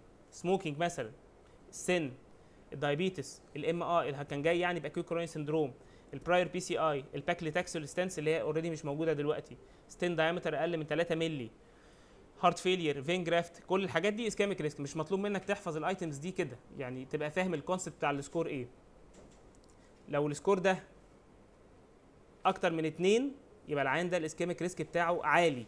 يبقى ممكن تزود الفترة اللي هيمشي على dual antiplatelet أكتر من السنة. أو أكتر من ست شهور خلينا نقول أكتر من ست شهور. ولو اسكيم acute coronary syndrome يبقى أكتر من سنة. لو ال score بتاعنا ده أقل من اتنين يبقى مش محتاجين قوي إن إحنا نزود في ال duration يبقى يكفي الست شهور أو السنة لو acute coronary syndrome ماشي. selection and timing كل الكلام ده إحنا قلناه. في ال patient acute coronary syndrome ticagrelor يا محمد يا مصطفى. أي acute coronary syndrome ticagrelor على طول. 180 مللي جرام و90 مللي جرام twice daily on top of aspirin recommended regardless the initial treatment strategy بغض النظر إحنا هنعمل قسطرة أو لأ. including patient حتى لو كان العيان ماشي في بيته على كلوبيدوجريل وحتى لو كان جاي لك من مستشفى تانية واخد كلوبيدوجريل يفضل تقلبه على ticagrelor في ال patient acute coronary syndrome undergoing PCI هنا يظهر ال prasugrel خلاص أنا صورته وهعمل له PCI prasugrel 60 مللي جرام وبعد كده 10 مللي جرام يوميا on top of aspirin is recommended في العيانين ال P2Y12 inhibitor naive ماشي. ال pre-treatment with P2Y12 inhibitor is generally recommended in patient in whom the coronary anatomy is known and the decision to proceed to PCI is made as well as in patient is STEMI يعني إيه الكلام ده؟ يعني إيه عيان هديله pre-treatment وال coronary anatomy بتاعه known يعني عيان بالصدفة حضرتك مصوره مثلا بقالك شهر ولقيت عنده subtotal LAD أو 80% LAD وما عندوش حاجة تانية والنهاردة جايب anterior STEMI فأنت العيان ده أنت عارف ال coronary anatomy بتاعه مع إن أنت لسه ما صورتوش في ال acute event ده. هنا مسموح لك تعمل ال pre-treatment تمام؟ In patient with non-ST undergoing invasive management, ticagrelor administration أو clopidogrel لو ticagrelor not option, patient with stable pre-treatment. Clopidogrel may be considered لو probability عالية of PCI. آه ماشي. الكلوبيدوجريل هو البديل زي ما قلنا لو الاثنين مش متاحين أو الاثنين فيهم contraindication مع ال thrombolytic therapy أنتوا عارفين بننزل بالجرعة. بتاعت الكلوبيدوجريل مع ال streptokinase بندي أربع اقراص بس من الكلوبيدوجريل اللي هم 300 مللي جرام أو بندي قرص واحد لو العيان سنه معدي 75 تمام؟ تدي قرص واحد بس من الكلوبيدوجريل لو العيان سنه معدي 75 ticagrelor أو prasugrel on top of aspirin may be considered instead of clopidogrel في العيانين ال stable اللي إحنا قلنا عليهم. بيزيد على ال slide دي بس ال diabetics في ال guidelines الجديدة. تمام؟ العيانين ال left main ال complex ال bifurcation اللي جالهم stent thrombosis قبل كده كل دول بيسموهم high risk وممكن في العيانين دول لو هم stable جايين يعملوا elective coronary angiography و PCI تدي الحاجات الجديدة. مش كلوبيدوجريل آه. تمام؟ يزيد عليهم ال diabetic coronary anatomy not known prasugrel class 3 ماشي. Switching. Switching between ال new P2Y12 inhibitors مع كلوبيدوجريل إيه الحاجة الوحيدة ال approved عشان نبقى أسهل في الكلام؟ الحاجة الوحيدة ال approved في ال guidelines إنك تخلي العيان اللي جاي لك acute يمشي على ticagrelor خلاص دي سهلة دي. عيان جاي في الطوارئ وات هو ماشي على إيه؟ ticagrelor switching to ticagrelor إحنا بنحفظ كلمتين في الأول إن في ال acute event always reload وفي ال chronic event always wait 24 hours عشان نسهل الكلام. في ال acute always reload وفي ال chronic always wait يعني دايما في ال chronic event هتلاقي عشان تنقل من حاجة للتانية تستنى 24 ساعة. اتفقنا؟ طيب always reload لو إحنا دلوقتي جاي لنا عيان ماشي على clopidogrel وهن switch ل ticagrelor هنعمل إيه؟ هنديله على طول loading dose من ال ticagrelor هستنى؟ هسأل على آخر جرعة من الكلوبيدوجريل خدها إمتى؟ لأ. تمام؟ طيب نعكس. لو إحنا جاي لنا عيان ticagrelor وإحنا لقينا انه بدأ ولنفرض مثلا بينزف فعايزين ن shift ل clopidogrel نعمل إيه؟ نستنى ولا ما نستناش؟ نستنى دايما لما هنسيب ال ticagrelor ال ticagrelor هو الحقيقة أقوى دواء في ال slide دي. دايما اللي هيروح له مش هيستنى. هياخد ال ticagrelor على طول واللي هيبعد عنه هيستنى. ticagrelor هيقلب على كلوبيدوجريل هتدي loading بس بعد 24 ساعة. طيب. عيان ماشي على كلوبيدوجريل وقررنا نقلبه على prasugrel هن reload طبعا لأنه acute event هنستنى ولا مش هنستنى؟ مش هنستنى. هو كلوبيدوجريل أقل في ال potency دايما فإحنا ما بنحترموش. فما بنستناهوش. مش هنستنى ال 24 ساعة. طب لو العكس؟ هنستنى ال 24 ساعة. تمام؟ الاثنين بقى مع بعض ال ticagrelor وال prasugrel الاثنين بيحترموا بعض. الاثنين بيحترموا بعض فبنستنى 24 ساعة بعد آخر جرعة من أي واحد فيهم وبعد كده ندي ال load. طب في العيانين ال stable. نعمل إيه؟ عيان ticagrelor stable جاي لك في العيادة يقول لك الدواء ده غالي جدا عليا أنا مش قادر مش قادر أجيبه. عايزك تكتب لي كلوبيدوجريل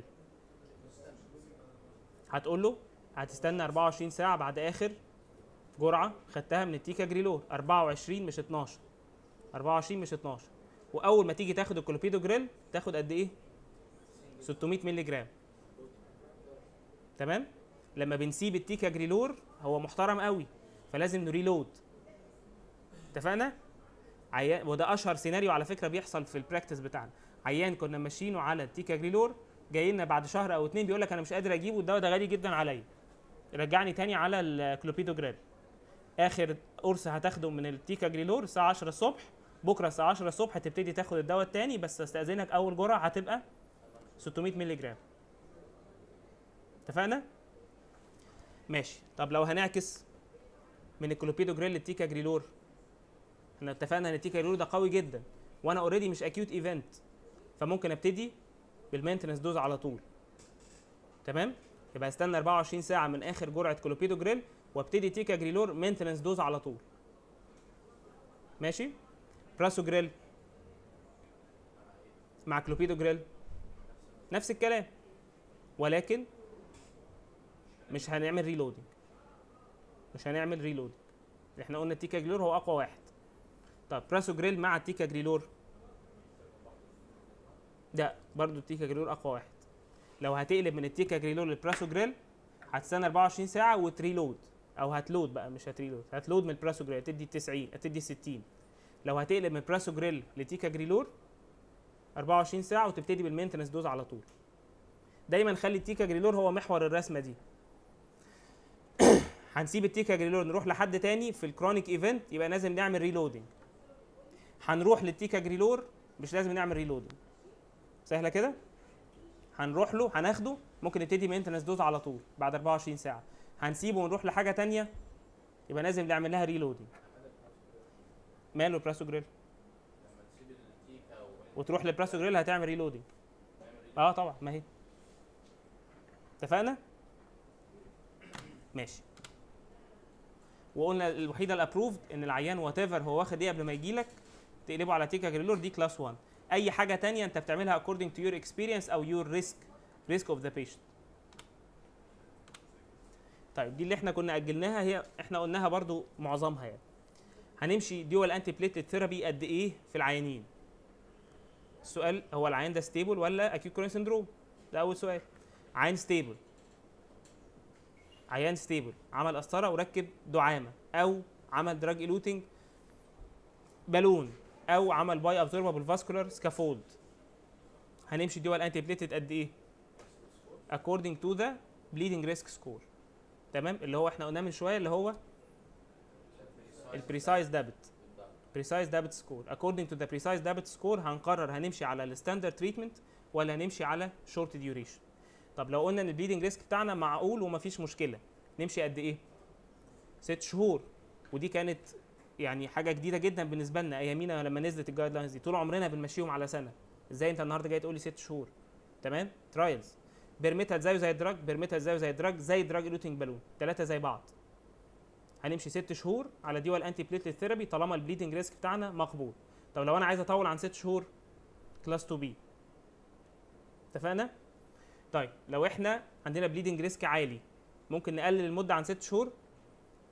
آه طبعا نقلل المدة نوصلها ل 3 شهور ك class 2 a. ولو bleeding risk is very high ممكن نوصل لشهر واحد class 2 b. ماشي؟ طيب ال acute coronary syndrome 12 شهر. ونخلص. acute coronary syndrome ب bleeding risk مقبول 12 شهر dual antiplatelets ماشي؟ لو أنا عايز أطول عن 12 شهر. وده الكلام ده للدكتوراه بقى. لو أنا عايز أطول عن 12 شهر dual antiplatelet إيه الحاجة اللي اتعمل عليها trial أكتر من على الناس اللي أكتر من 12 شهر. ticagrelor 60 مللي جرام تمام؟ اسمها إيه ال trial دي؟ PEGASUS trial up to 36 شهر 3 سنين. ماشي. لو إحنا عندنا bleeding risk عالي ممكن نقلل السنة دي تبقى قد إيه؟ 6 شهور وده class 2 a ال bioabsorbable vascular scaffold كلهم 12 شهر. ماشي؟ كلهم 12 شهر. طيب العيانين ال CABG اللي داخلين عملوا CABG على acute coronary syndrome هي هي. برضه دي هو ال antiplatelet لمدة 12 شهر طالما bleeding risk مقبول. ولو bleeding risk عالي لمدة 6 شهور بس class 2 a. طب عيان دخل عامل CABG elective. Is there an indication for dual antiplatelets? الحقيقة لا بس هي عليها خلاف. بالظبط لو انت هتعمل including في ال CABG ده venous grafts يقال إن في بعض العيانين they gain benefit إن هم يمشوا على dual antiplatelets لو انت في العملية دي كان استعمالك لأحد ال vein grafts اللي موجود. مش محددين قوي. بس انت هتعاملها معاملة ال stent. هتبقى ست شهور. ماشي. نيجي بعد كده للعيانين اللي هيمشوا medical. العيانين اللي هيمشوا medical على acute coronary syndrome لأي سبب كان.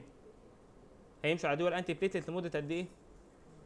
سنة. إحنا قلنا كلمة acute coronary syndrome مقرونة بسنة لو ال bleeding risk كويس. تمام؟ طيب لو ال bleeding risk بتاعنا عالي وهنمشي medical وما عملناش دعامات.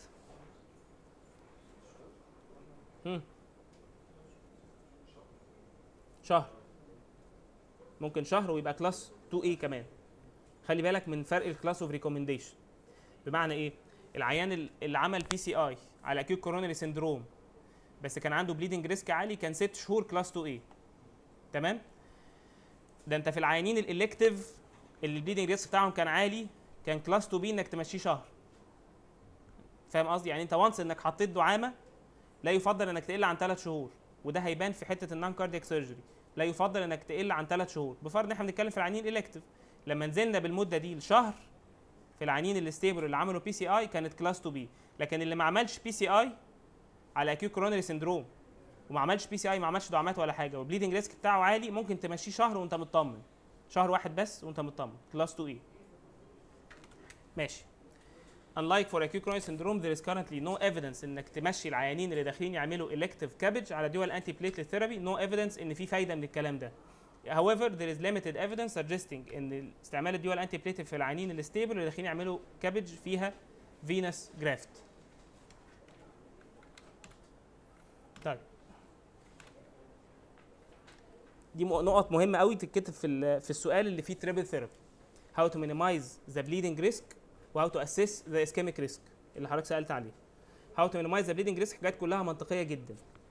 في حاجات إحنا قلناها مثلا إنك تستعمل ال NOACs مش ال vitamin K antagonist إنك تقلل ال duration على قد ما تقدر. ما تلاقيش عيان ماشي على triple therapy وأنت ماشيه بعد السنة على triple therapy تمام؟ قلل ال duration على قد ما تقدر.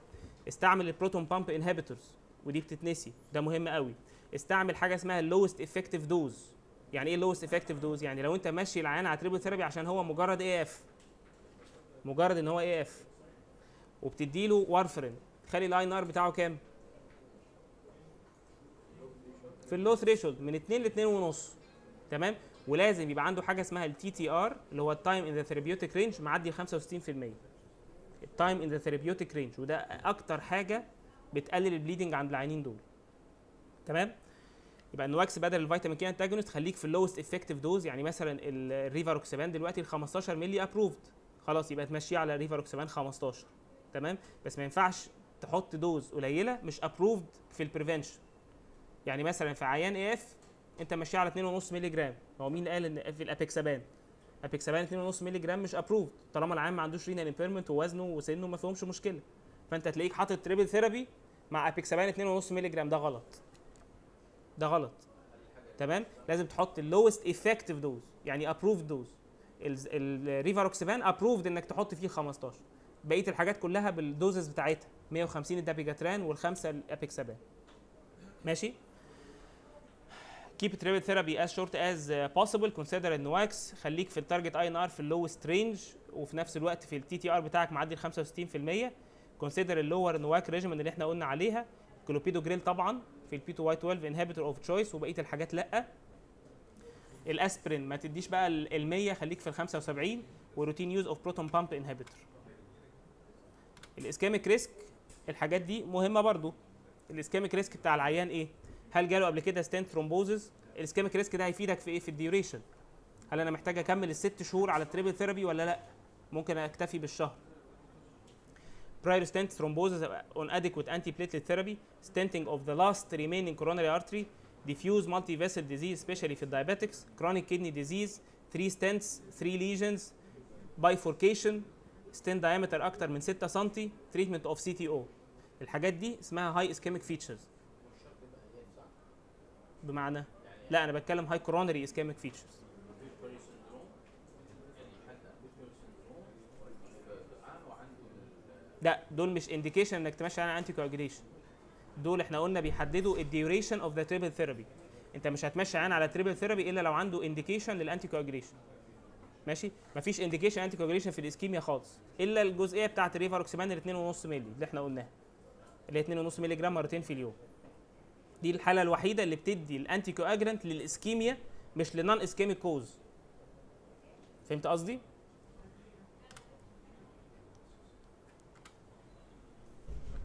كده تبقى triple therapy scheme لما ندي اسبرين كلوبيجرين مع rivaroxaban دي triple therapy دي ال slide بعد التصليح يا دكتور رشاد. في ال في الحتة الأخرانية دي كلوبيدو جريل بس. ماشي؟ طيب وبرده الجزئيات دي إحنا قلناها. عيان ماشي على anticoagulant already ال BioFreedom ال BioFreedom stents وال biodegradable polymer stents ال durations بتاعت ال DAPT بتبقى قد إيه؟ ال BioFreedom 1 month ودي موجودة في سؤال من الأسئلة اللي هنجيبهم. ال BioFreedom هي الوحيدة اللي أنا أعرفها اللي approved فيها إنك تدي 1 month بس. ما أعرفش دكتور عمرو حضرتك آه، بتهيألي دي الوحيدة في مصر اللي approved فيها ال 1 month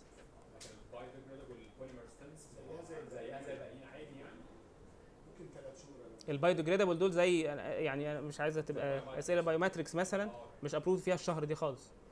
ثلاث شهور على الأقل. آه الوحيدة ال BioFreedom دي.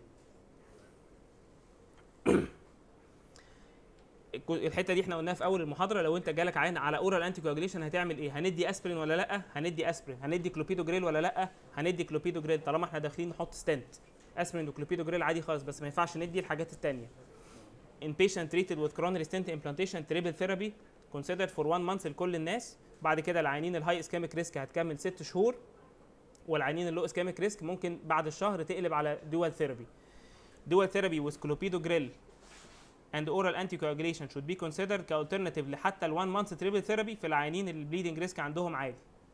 تاني يا دكتور رشاد هو مأكد إن الكلوبيدوجريل مش اسبرين طالما هنبتدي من الأول dual therapy ما ينفعش ما نمشيش العيان خالص على P2Y12 inhibitor تمام؟ يبقى ساعتها هيمشي ال 12 شهر على كلوبيدوجريل مع ال anticoagulant discontinuation of the antiplatelet treatment في العيانين بعد 12 شهر طبعا. ال patient اللي عندهم indication for vitamin K antagonist in combination with aspirin and or clopidogrel ال dose بتاعتنا لازم تبقى في ال lowest range لو استعملنا ال NOACs نستعمل ال lowest approved effective dose rivaroxaban is used ال 15 مللي جرام موجودة. آه هي class 2B بس موجودة و approved إنك تمشيها على 15 مللي جرام use of ticagrelor أو prasugrel class 3 non-cardiac surgery عيان ماشي على dual antiplatelet therapy وفجأة قررنا أو مش فجأة يعني ظهر indication إنه يعمل non-cardiac surgery برضو بداية سؤالك في الامتحان بداية إجابتك لازم تبقى فيها شيء إنك تعرفه إن أنت فاهم أو مع صح إن أنت بتمارس المهنة دي. وده request ات كتير من اللي بتجيلنا في العيادة كده. نعمل إيه؟ عندك ثلاث أسئلة لازم تجاوب عليهم. risk of stent thrombosis قد إيه؟ طب هو ده معتمد على إيه؟ معتمد مبدئيا على ال duration هو عامل ماشي على ال dual antiplatelets بقاله قد إيه؟ عشان عامل PCI بقاله قد إيه؟ مثلا. risk of stent thrombosis قد إيه؟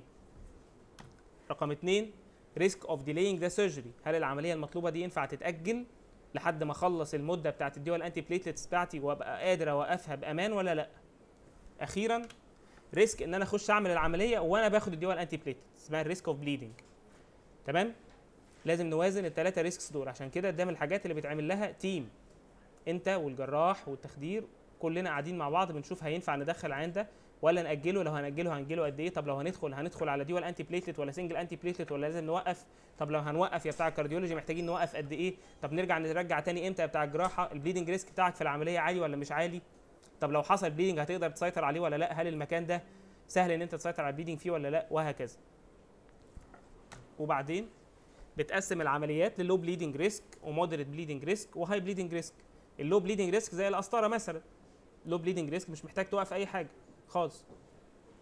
ال moderate bleeding risk العيان maintained على اسبرين وممكن توقف ال P2Y12 inhibitor ال high bleeding risk العمليات ال vascular بالذات الجراح بيطلب منك إنك توقف الاثنين بتعمل حاجة اسمها time discontinuation اللي هو بتوقف 3 5 7 3 أيام لل ticagrelor 5 أيام للكلوبيدوجريل 7 أيام لل prasugrel وبعدين تخش تعمل ده بشرط إن العيان ينفع يوقف ال antiplatelets بأمان. تمام؟ وهنا يجي الجزء الثاني بتاع إجابتك في السؤال. لو إحنا وغالبا ده بيبقى السؤال كده في era أو في في وقت زمني من حياه العيان ما ينفعش نوقف ال antiplatelets نعمل إيه؟ ولنفرض في أول شهر. bridging with glycoprotein 2b/3a inhibitor أو cangrelor وأه... أنا رأيي أهم من دي إنه لازم يعمل العملية دي في مكان في immediate 24/7 PCI center لأن وارد جدا في أي وقت بعد العملية يحصل له stent thrombosis تمام؟ دول لو السؤال افترضنا إن هو عليه 30 درجة مثلا يعني دول لوحدهم عليهم ما لا يقل عن 15 20 درجة. إنك تفهمني إن في حاجة اسمها bridging ممكن يتعمل؟ آه هو مش class of recommendation عالي. بس لو أنت في أول شهر بعد ال PCI اللي هو مكتوب إن أنت class 3 إنك تقرب للعيان والعملية دي عملية urgent لازم تتعمل ما ينفعش تتأجل. هتوقف ال antiplatelets لأن انت عندك high bleeding risk في ال surgery وبالتالي ممكن تعمل حاجة اسمها bridging with glycoprotein 2b/3a inhibitor or cangrelor to be stopped before the surgery and recontinued after the surgery and the operation should be done in a 24/7 PCI capable center تمام for possibility of stent thrombosis requiring urgent intervention كده انت فهمته ان انت فاهم انت فاهم انت بتعمل إيه قول يا دكتور هشام كل واحد حسب الهاف لايف بتاعته. أقلهم في الوقت الكانجريلور. الكانجريلور بياخد دقايق ومفعوله بيروح.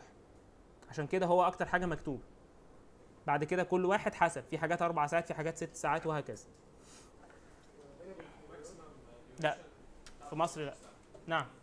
كانت الماكسيمم ديوريشن بتاع 18 ساعة في التليفري 15 ساعه ده استخدام الدواء. مش الهاف لايف بتاعته أنا قصدي أنا الريسك اوف سوسايتوبينيا هل 18 ساعه دي عشان الريسك اوف سوسايتوبينيا بعد أو البنفيت لا ال benefit نفسها. طيب. Timing of the surgery. P2Y12 inhibitor interruption after PCI for elective non-cardiac surgery.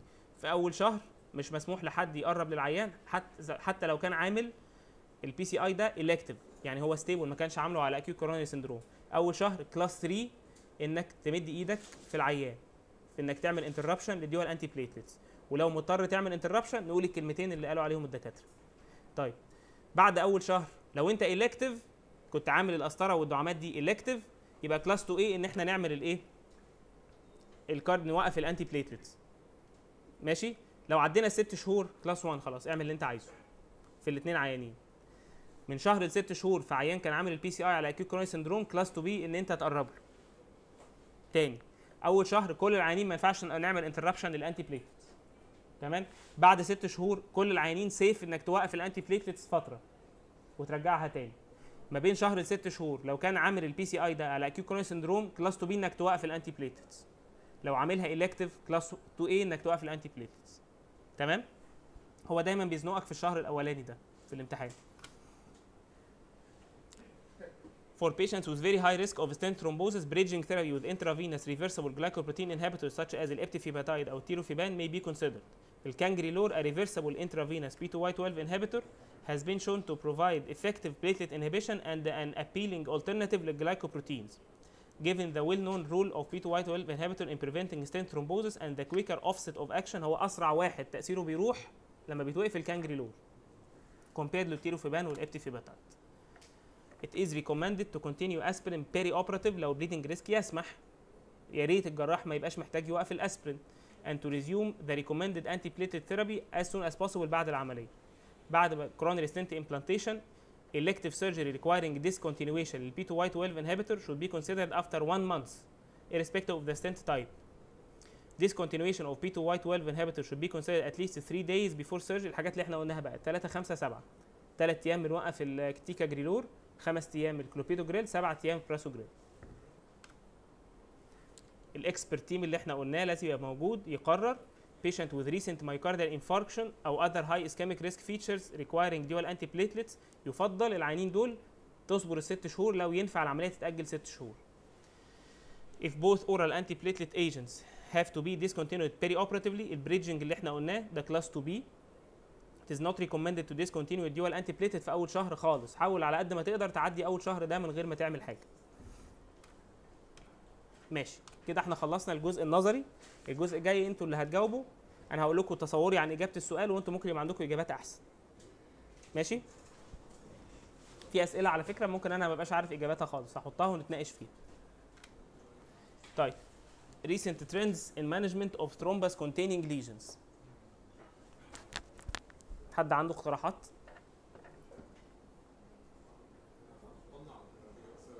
آه بس هو ده كان جاي قريب يا بيه.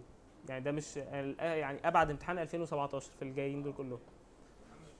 هو كانوا بيجيبوهم بس ما عليهمش درجات كتير. لا لا بنحط على درجات ساعات. بس هي الفكرة إيه؟ إنه ده اللي حافظ الكتاب. إحنا عايزينك ت apply المعلومة. يعني المعلومات اللي قالها الدكتور وليد إزاي أنت ت apply في حياتك؟ هي دي فكرة الامتحان اللي إحنا طيب اتفضل اتفضل دي بروسيجر الانترا بروسيجر والست بروسيجر دي البروسيجر اللي هياخد لودنج الاسم عادي هتكلم بقى على التيكا زيرو بالظبط. أول حاجة تفكر فيها الفارماكولوجيكال تمام؟ إن في أدوية دلوقتي potent P2Y12 inhibitor better use of potent P2Y12 inhibitors. تمام؟ فممكن نستعمل التيكاجريلور والبراسوجريل لو الكورونري اناتومي از نون إيه كمان؟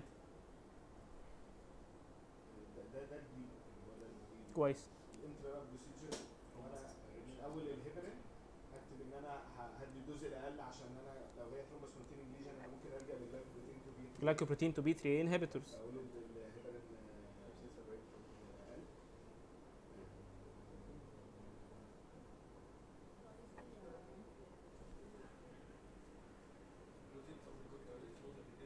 إيه؟ تمام بس هو هنا هيبقى indicated. يعني هو هنا من الحاجات اللي تتكتب إنها ممكن تستعمل line of treatment ال thrombus aspiration تمام؟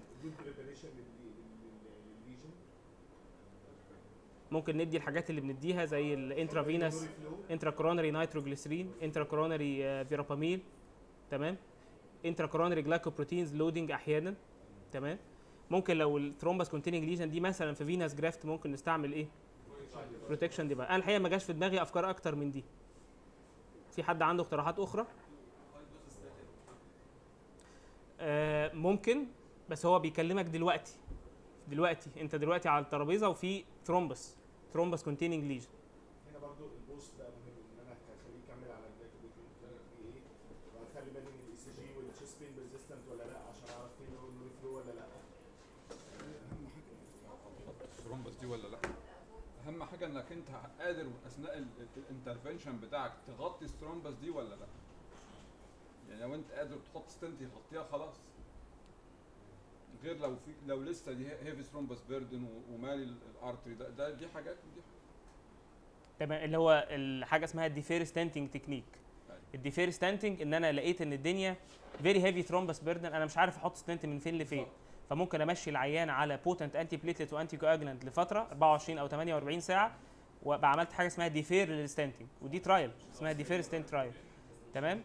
وبعد ساعتها ممكن تقلل ال length of the needed stent ودي كانت mainly على فكرة قيمة ال trial دي. إن قال, قال إن إحنا حطينا دعامات طويلة جدا على الفاضي عشان نغطي thrombus defer stenting technique ده أحد الحاجات المهمة. في اقتراحات أخرى؟ ماشي. good luck. طيب. Advantages and limitations of the radial approach for coronary intervention.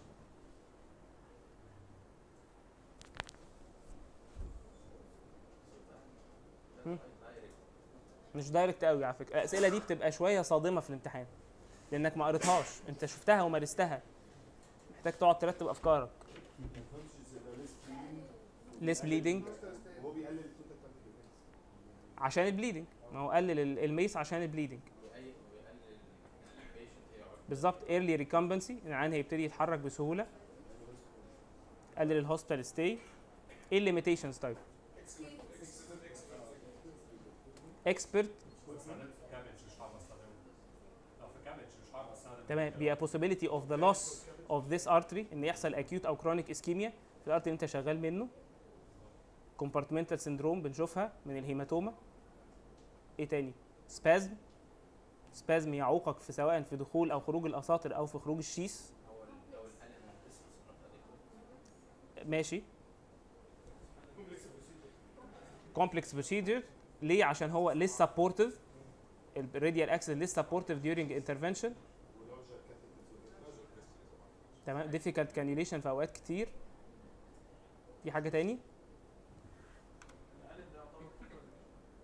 ال Allen لا مش contra ما وصلش لمرحلة إنك نقول contraindication بصراحة. يبقى less bleeding فممكن تستعمله عادي في العيانين على ال oral anticoagulation less risk of hematomas و fistula و aneurysm. اللي هم بيحصلوا مع ال femoral وال early recumbency limitations كتير قوي الحقيقة. اللي مارس ال radial اللي يعرفها آه، محتاج expert عالي radial spasm difficult cannulation more contrast عشان كده ما يفضلش إنك تشتغل radial وإنت مش expert قوي في عيان kidney function بتشاور عليها less support acute and chronic ischemia في ال artery اللي أنت شغال منه compartmental syndrome. ماشي. تدي الأسئلة بقى اللي أنتوا بتحبوها. 65 years old smoker obese diabetic patient presented to, presented to the ER with acute ongoing chest pain of 12 hours duration ECG showed anterior stem تمام his bedside يبقى إحنا عندنا راجل عنده 65 سنه سموكر واوبيز ودايابيتك ثلاثة ريسك فاكتورز دول جايين لنا بانتيريور ستيمي من 12 ساعه البيت سايد ايكو فانكشن 30% ومودريت mitral regurgitation He was rushed to the cath lab with coronary angiography revealed left main coronary artery 70% lesion, total proximal LAD, ostial OM sizable, 90% lesion في ال ramus intermedius, sorry, uh, ostial OM 90% lesion و 80% lesion في ال ramus intermediate. What's your decision? الجزء اللي يهمني هو أول سؤال. What's your decision in the cath lab? عيان جاي ب anterior STEMI صورناه لقينا عنده left main disease ادي مشكلة و multivessel disease ادي مشكلة و proximal total occlusion في LAD اللي هو ال culprit و diabetic what's your decision in the cath lab and why وفي حاجة ثانية في severe mitral regurgitation moderate sorry moderate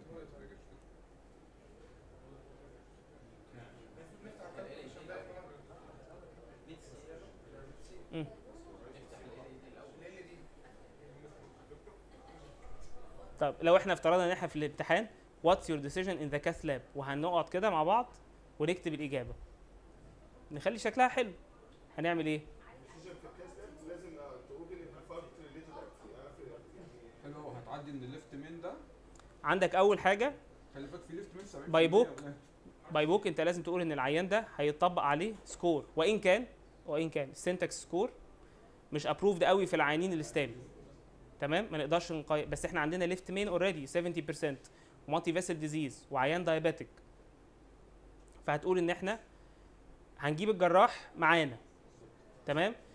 عشان ن assess ال surgical risk يبقى أنت رقم واحد agreed إن ال first option هنا هو ال surgery طبعا. أنت عندك كل الحاجات تقول لك surgery لو الجراح قال لك إن ال STS score is appropriate and he can do complete revascularization of the patient خلاص.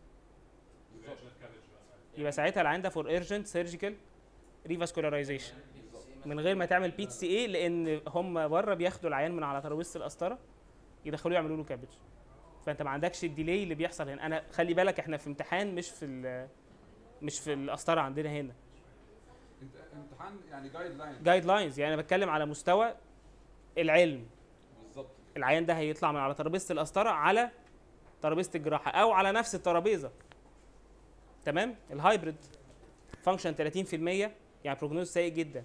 عيان diabetic prognosis سيء جدا. multivessel disease prognosis سيء جدا. في including left main 70% lesion يعني حتى لو قررت تعمل intervention انت very high risk انت مش هتلمس العيان ده إلا لو ال STS score بتاعه عالي جدا لدرجة إن الجراح قال لك مش هينفع.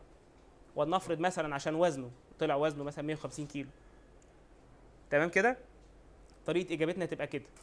Hard team consultation including the surgeon the surgical re بالظبط to assess the surgical risk surgical revascularization is the first option as the patient has 1 2 3 4 5 آه بس هو سؤال عليه أربع درجات بالمناسبه هو عايز يسمع منك الكلمتين دول ان في حاجة اسمها surgery تمام surgery و score مش كل حاجة نمد ايدينا what are the long term pharmacological and non pharmacological management اتفضل يا محمد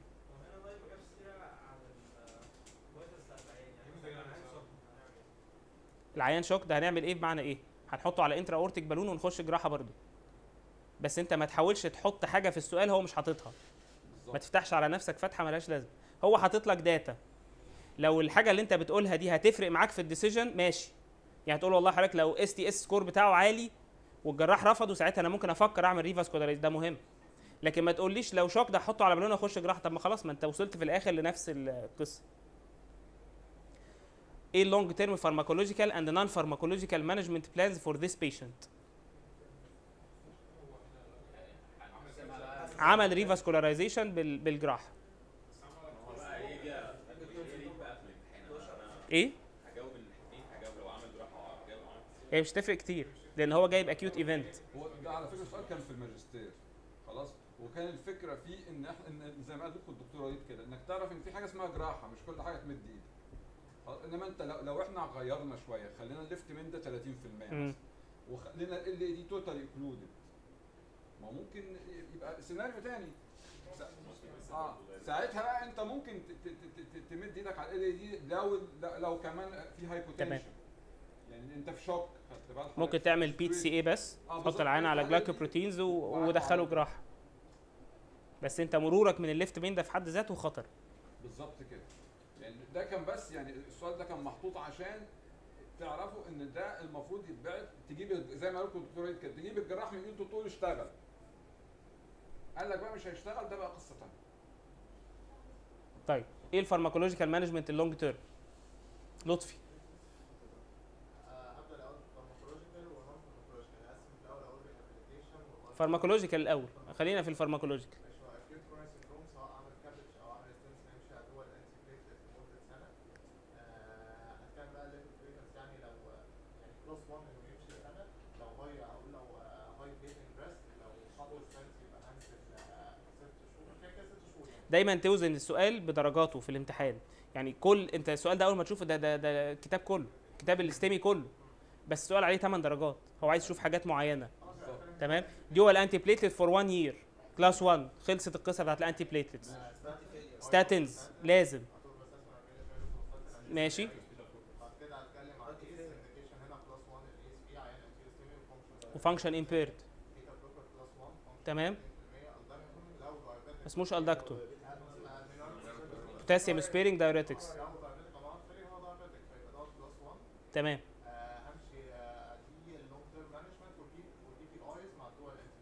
كويس طب هو في mitral ده ما يفرقش معاك في حاجة هعمل له reassessment بعد كده هشوف اتحسن ولا لا هو صلحه بايه الجراح خلي بالك ان الجراح هيصلح ال mitral regurgitation ده اثناء ال- ال surgery هل لو هو ischemic بس هو عشان ال LAD يعني فب- بس هو في سؤال تاني في في الحتة دي هو ischemic ولا ولا ولا dysfunction لكن هو هنا انت هتقول لو الجراح صلحه ب mitral valve replacement يبقى anticoagulation بقى و triple therapy وهتحط بقى فكرة ال triple therapy كلها بقى. تمام. non pharmacological أحمد سيد هو على moderate mitral regurge الجراح هيصلح دلوقتي ال mitral regurge هيعمل revascularization الأول وبعد كده reassess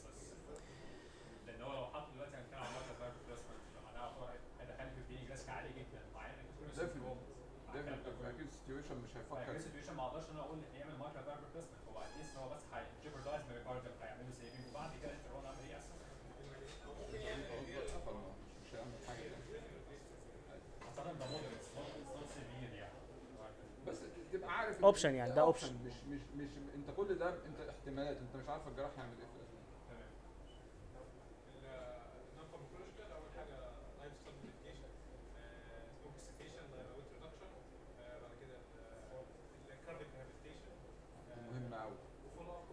خلي بالك إن عندك إن heart failure. أو إن عندك ejection fraction 30% اتكلم عن ال follow up under symptomatic ischemia ولل heart failure لكن راجل multivessel لو symptomatic ممكن محتاج اعمل حاجة invasive واتكلم عن قصه طول الوقت في أي device therapy ولازم طبعا بعد 6 اشهر المفروض بعد يعني مثلا 6 12 أسبوع بقى اعمل إيه stratification أشوف ال ICD مهمه قوي دي.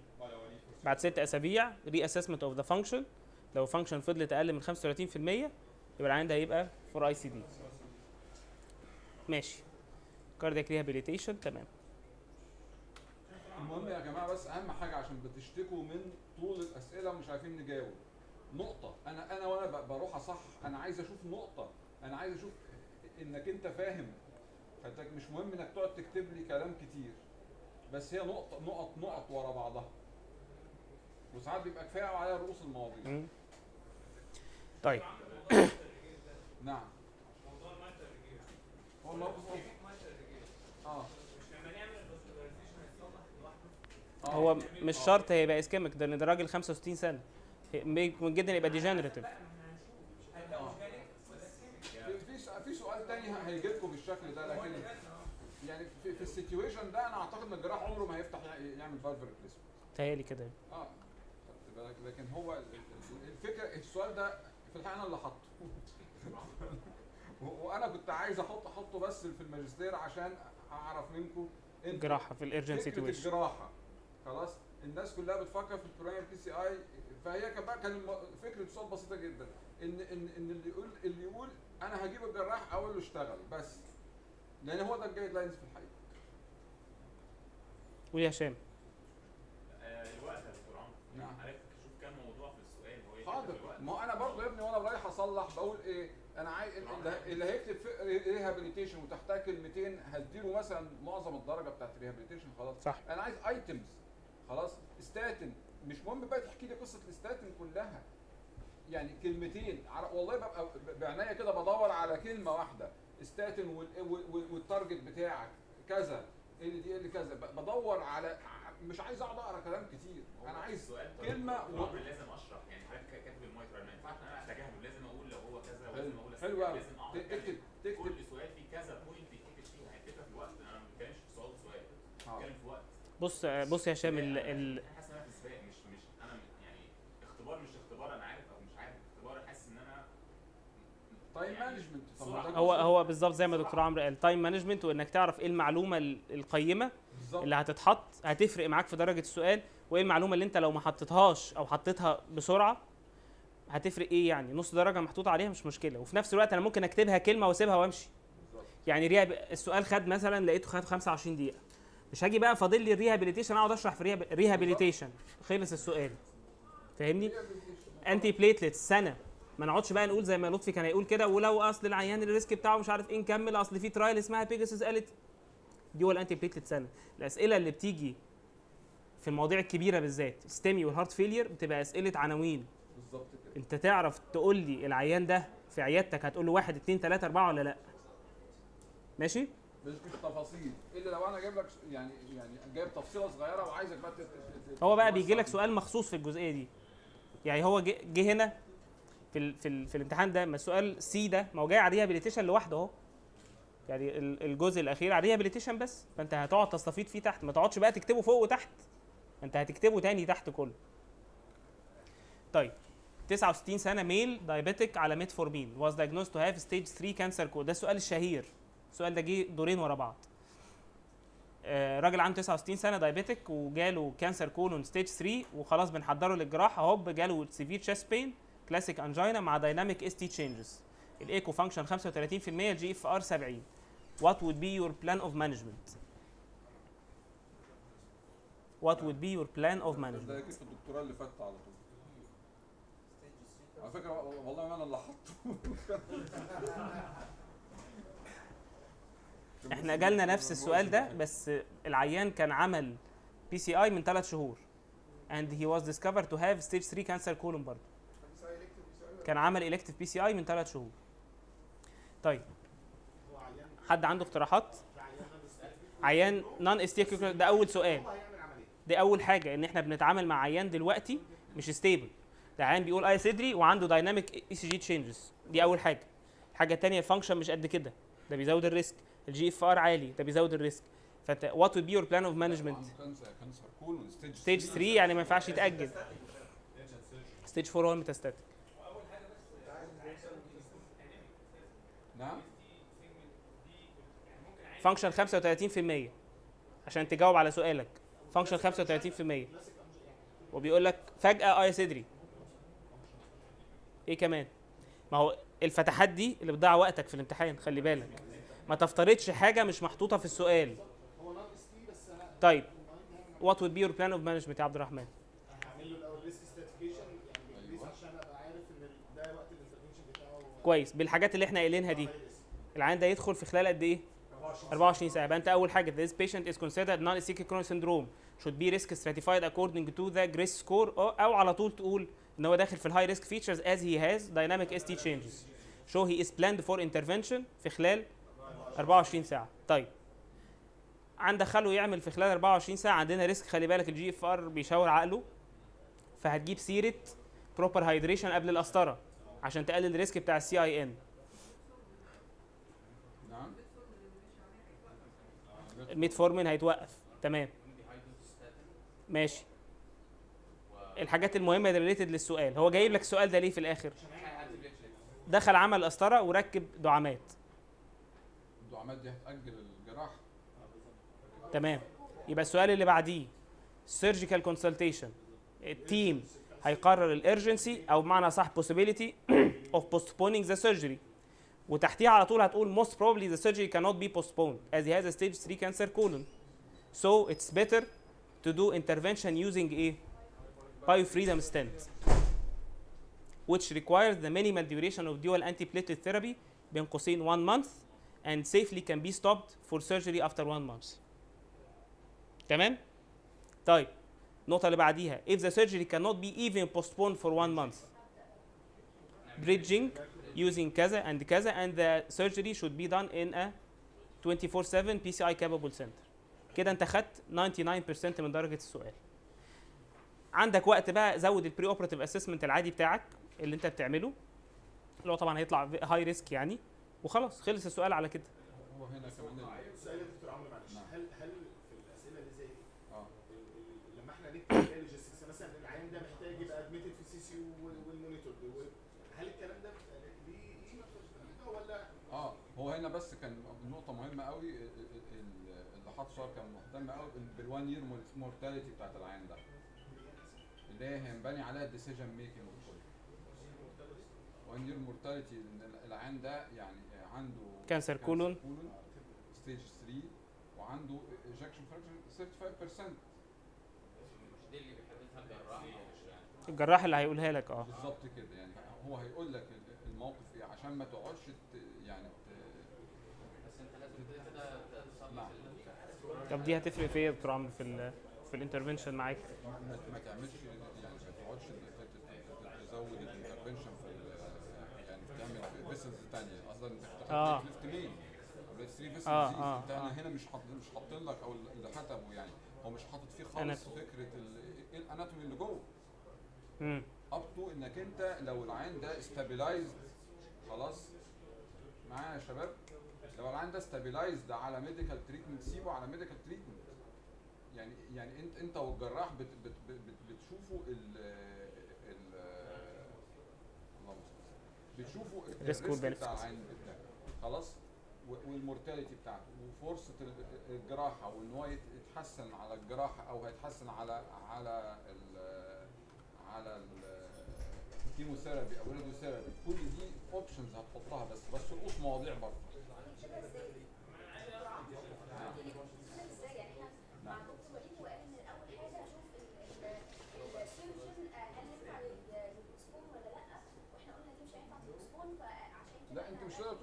هو اللي هيقول بقى. هو اللي هيقول.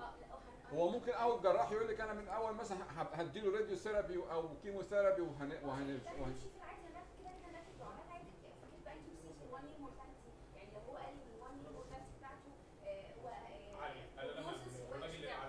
كويس قوي 1 year mortality وأنا دخلت 3 vessel disease مثلا. هعمل له CABG.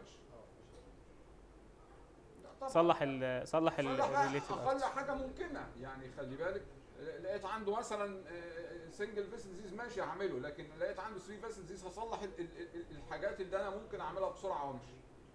ما بقاش so enthusiastic إن أنا أعمل حاجات. آه أصل دي هتحسن ال long term مش عارف mortality وبتاع mortality إيه ما هو عنده ال mortality سيئة بال- بال- بال cancer هي فكرة السؤال ده كله إنك تعرف إن في يعني factors تانية بتأثر على ال decision making بتاعك مش مجرد الحاجات ال cardiac بس.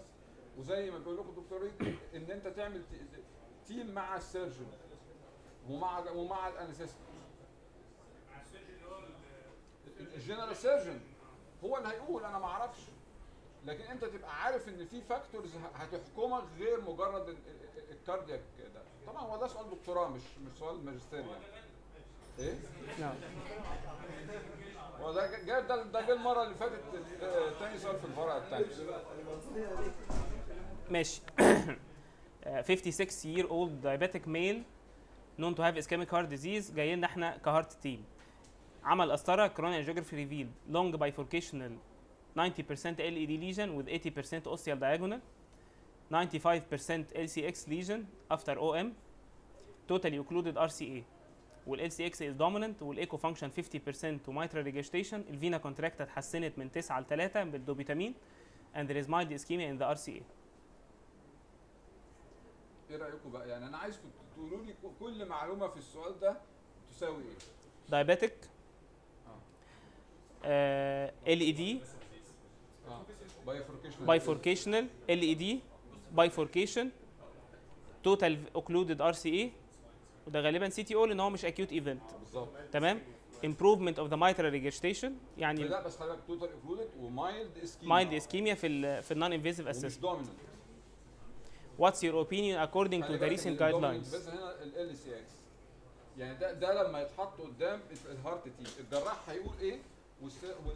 وال cardiologist هيقول إيه مش عايزين نعمل ار سي نعم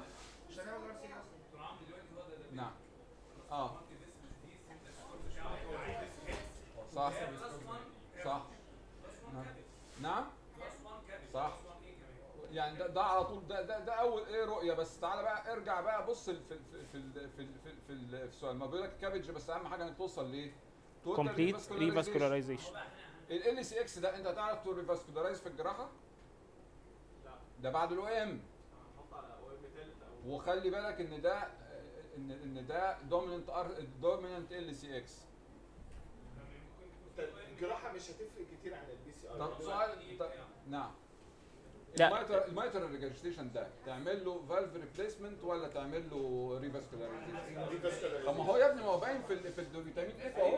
إن هو اتحسن. اتحسن يبقى ده يبقى يبقى ده يبقى ده مشكلته ischemia خلاص يبقى ده ما تعملوش valve replacement خلاص هو severe mitral regurgitation يبقى مفيش valve replacement تمام ال ال ال CX lesion ده مش هيلمسه الجراح يبقى ساعتها ال- الجراحه عشان ال LAD بس خلاص يبقى ال LAD هو اللي محتاج الجراحه ليه يعني صح ال- ال- ال- ال LIMA هنا احسن خلاص يعني ال LIMA على ال LAD هنا احسن لكن ال CX ده مش هي- مش هيقرب له الجراح وال RCA ممكن هيطول هي- هيطول معاك ال procedure بتاع الجراحة ومش هي مش مش هيستفيد بحاجة.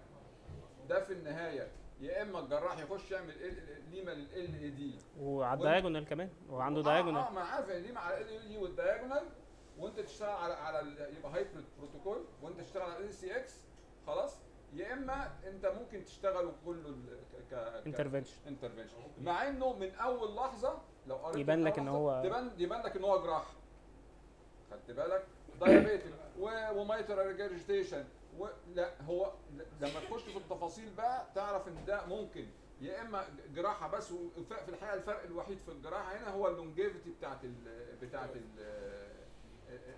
ال revascularization. ال re revascularization يبقى أقل. إنما أنت تقدر تعمله بال بال, بال تعمله بال لل PCI وفي الحقيقة ده اتعرض بالظبط في آه، post كاس هناك في كنا في الجراحة خلاص وكان كان النظام هتعملوا له حاجة ولا نشتغلوا إحنا؟ الناس اختلفت دكتور. طب وماله؟ انت ده ده ده دكتوراه يا دكتور عبد الرحمن. هو أنا أنا هنا في حاجات definitely ما فيش خلاف فيها. X ده مش ممكن بعد OM 1 في و OM 2 و3 وفار ياخد عليهم graft ما يعني انت برضو ما تفترضش ما تفترضش حاجة هو مش حاططها في السؤال. أو افترض لو عايز قول لو في لو في sizable OM نحط عليهم ماشي. لكن اللي مكتوب في في, في السؤال إن ده OM كبير وبعدها lesion ومفيش حاجة تتحط عليه. خلاص؟ فهي الفكرة إيه؟ الفكرة إنك أنت تقول ال options كذا وكذا وكذا. طيب. لكن في حاجات definitely إن ال mitral regurge ده ما يتعالجش ب valve replacement خلاص؟ وإن ال CX ده ما, يت... ما... ما... ما... ما... مش هينفع له جراحة. وإن ال RCA ده المفروض أسيبه ملوش أي قيمة. هيطول فترة ال on bypass على على قله فايده تمام. لو أنت بقى ما قلتش ال final conclusion بتاع الدكتور عمرو ده لو انت- دي لوحدها أهم حاجة. هتقول لي هقعد أنا هقعد أكتب فيه و option مش عارف ساعتين. ما ما أنا عايز الكام الكام نقطة دول لأن هم دول اللي عليهم ال ال ال ال نعم. نعم يا فندم؟ آه. آه. من 22 surgeon. طيب بس بس بيقول لك لازم توصل ل complete revascularization وفي ال total ما هو وفي ال total آه، وفي ال total occlusion لازم يكون في significant ischemia لا هنا في significant ischemia ولا انت هنا هتوصل لل total revascularization لأن ال CX مش هيتعمل.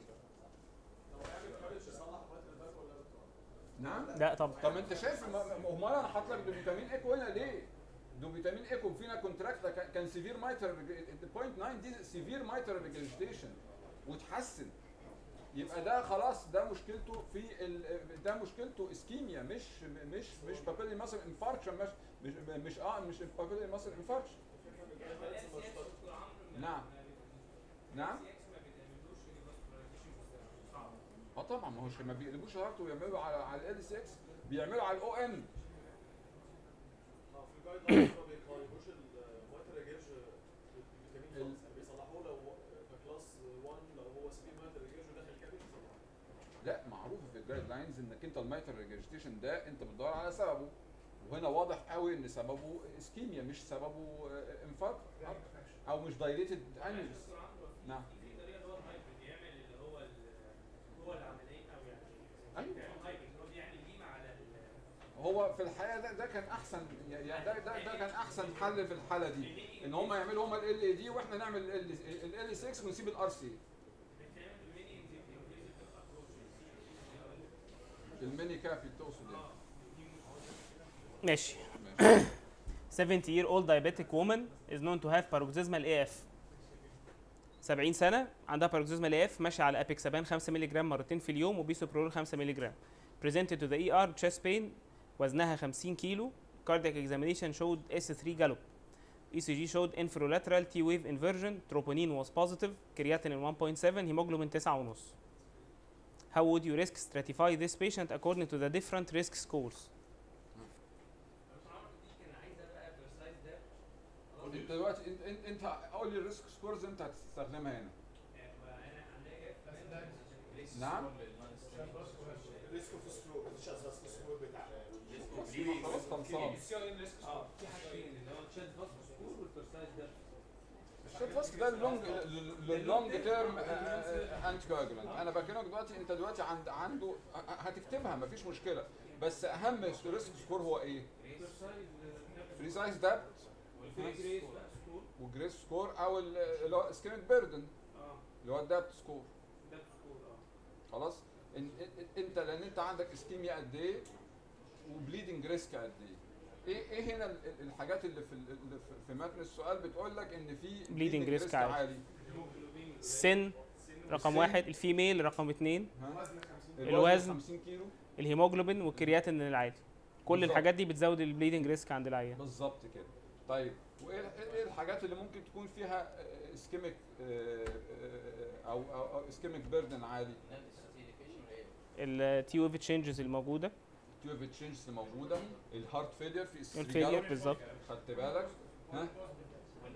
وال biomarkers عالية. وال biomarkers العالية. يبقى يبقى بس أنا عايزك لما تجاوب السؤال ده عايزك تبقى فاهم إن ال parameters دي بتزود ال risk of ischemia وال parameters دي بتزود ال risk of bleed خلاص؟ وهتعمل لي scoring بالطريقة دي وبالطريقة دي. تمام؟ ماشي. السؤال الثاني كان وفي مشكلة بس انها ما كانتش نعم. المفروض تمشي على جرعه خمسة. sorry؟ ما يعني. آه دي على فكرة دي نقطة مهمة.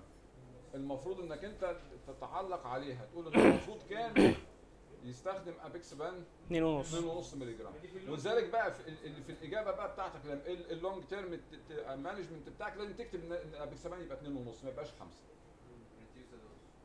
وفي الحقيقة مش أنا اللي حاطه والله. أنا متهم بالأذية. لا اللي حاطه أستاذ تاني بس أنا كنت يعني بساعده فيه يعني. مين بقى؟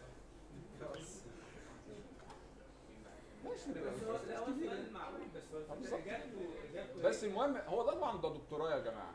لو هحطه على الماجستير هنخف عنه شوية الحاجات دي. لكن أنت لازم ت criticize لا لازم ت criticize دواء. مهم قوي انك تقول يعني بصوا في نقط كده كانت مهمة جدا في السؤال نعم؟ آه في ال criticism نفسه خمسة دي غلط.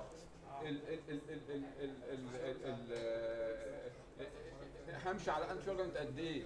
هعمل هنا ما جبناش سير أنت المفروض هتقول إنك أنت هتدخله قسطره قسطره هتلاقي إيه؟ وهتعمل إيه؟ هتدي anticoagulant ولا مش هتدي؟ نقط بسرعة أعرف إنك أنت فاهم الدنيا فين.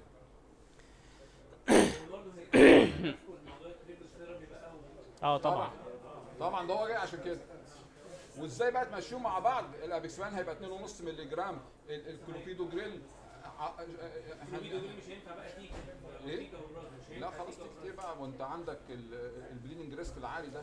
ده ال PRECISE-DAPT بتاعها ده يطلع خ- 70 ولا حاجة. هو كمان التيكا وال prasu ما ينفعوش في triple therapy اللي هو triple therapy آه ماشي. 54 سنة old lady hypertensive و diabetic و permanent AF وماشيه على chronic oral anticoagulation جاية لنا ال ER سيفير شيست بين انفيريور ستيمي اول حاجة خدت 180 مللي جرام تيكا جريلور immediate coronary angiography was performed through right femoral artery and showed proximal total occlusion of the RC and proximal critical 95% LED.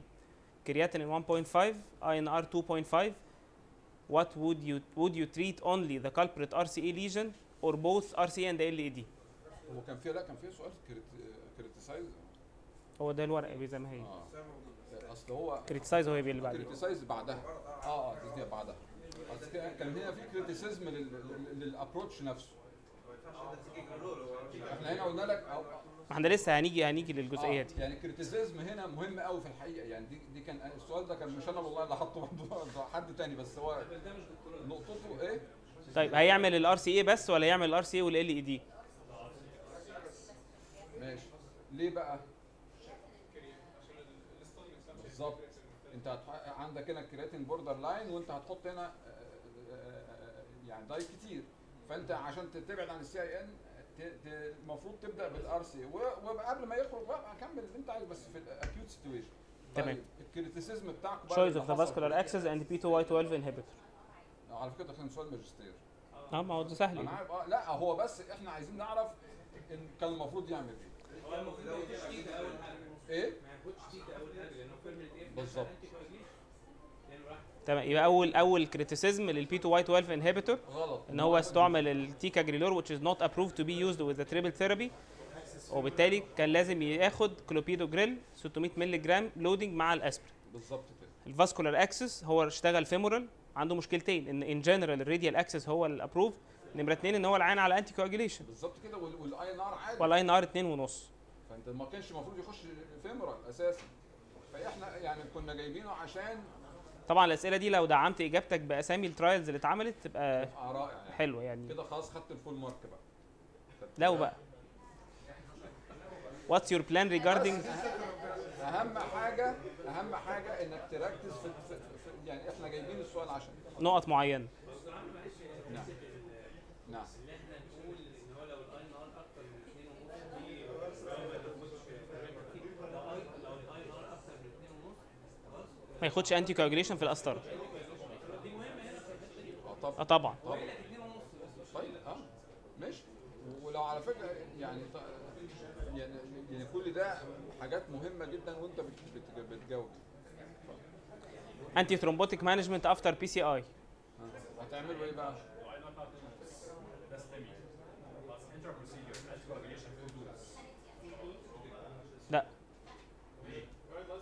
ما هياش كاتبه الكلام ده يعني كاتبه في ال non-STEMI فقط بس كاتبه دي نراجعها تاني. أنا عن نفسي أنا عن نفسي معلوماتي إن لا ما تديش. بس اللي اللي عنده المعلومة يجيبها لنا ونقولها المحاضرة الجاية. نعم نعم. procedure آه. هو هنا كنا STEMI نعم. ده STEMI واي بتاعه 2 ونص طيب ماشي ما هو borderline لو إحنا بنقول لو اعلى من 2 ونص ما تديش لكن 2 ونص ف- فما أقل المفروض تدي. يعني أنا فاكر اللي أنت بتقوله ده يعني عدى عليا قبل كده بس مش متأكد مصدر المعلومة إيه. إن في ال STEMI ما بتفرقش ولازم تدي anticoagulation بس نراجعها تاني. ال thrombus ع- يعني ال thrombosis عالي فانت كده كده هتدي antithrombotic management after PCI هتعملوا إيه long term على فكرة بص دي, لو جت دكتوراه ممكن نحاسب على الكلام ده إنما في الماجستير ده إحنا كان هدفنا بس ال criticism وإنك تقول إن أنا هعمل culprit وأطلع مش هعمل حاجة أكتر من كده. امم أنت هنا هتمشي على triple therapy لمدة قد إيه؟ ولا dual therapy هتكتب according to the bleeding risk score بتاعها ولنفرض ال HAS-BLED score شوف الحاجات اللي تقدر تحسبها من هنا. بس خلي دي acute acute situation إحنا بنتكلم أقل أقلنا سنة. تمام؟ وإن أنت بعد سنة هتوقف ال antiplatelet كل ده عليه درجات. إنك هتمشي من شهر لست شهور على triple therapy including إنك بتدي لو هي ماشية على warfarin هتخلي ال INR بتاعك في ال lowest effective range اللي هو من 2 ل 2 ونص وتتابع ال INR ويكون ال TTR من 65 ل 70% على الأقل. وبعدين بعد ست شهور هتمشي على dual therapy aspirin أو clopidogrel plus ال anticoagulant وبعد سنة هتوقف ال antiplatelets وتمشي على ال anticoagulant بس. ويفضل إنك انت تستخدم NOACs يعني وال NOACs طبعا آه لو هي يعني يعني لو ينفع يعني. يفضل طالما تستخدم triple therapy إنك تستخدم NOACs إلا بقى لو ما فيش availability availability أو financial financial problem أو حاجات كده.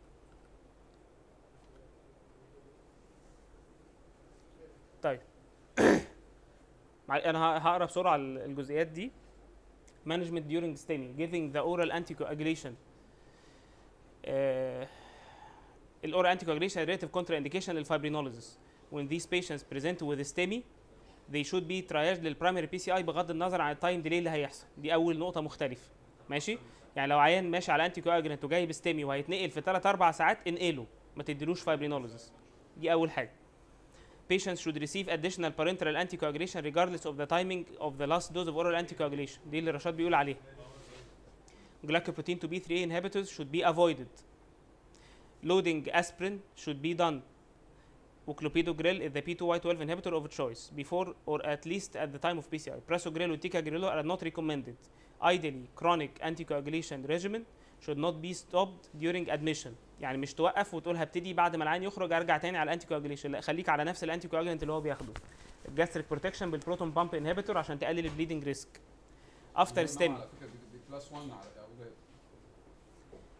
continuation of oral anticoagulation in patients with an indication for dual antiplatelet should be evaluated carefully and continued only if compelling evidence exists أحيانا تلاقي العيانين ماشيين على anticoagulation من غير داعي فقال لك لازم تراجع الأول ال indication وتاكد انه محتاج فعلا يخش في الحته بتاعه ال triple therapy الحاجة الثانية ischemic and bleeding risk طبعا should be taken into account while there is a considerable overlap of risk factors associated with ischemic and bleeding multiple bleeding risk scores أو آه، زي الشاتز فاسك سكور زي الدابت سكور كل الحاجات دي لازم تقولها في السؤال for most patients triple therapy in the form of oral anticoagulation واسبرين وكلوبيدوجريل should be considered for 6 شهور then oral anticoagulation plus aspirin and clopidogrel should be continued لبقيه الست شهور وبعد سنه كل الناس هتمشي على anticoagulation بس in cases of very high bleeding risk triple therapy ممكن ننزل بيه لشهر continuing on dual therapy بقيه ال 11 شهر up to 1 year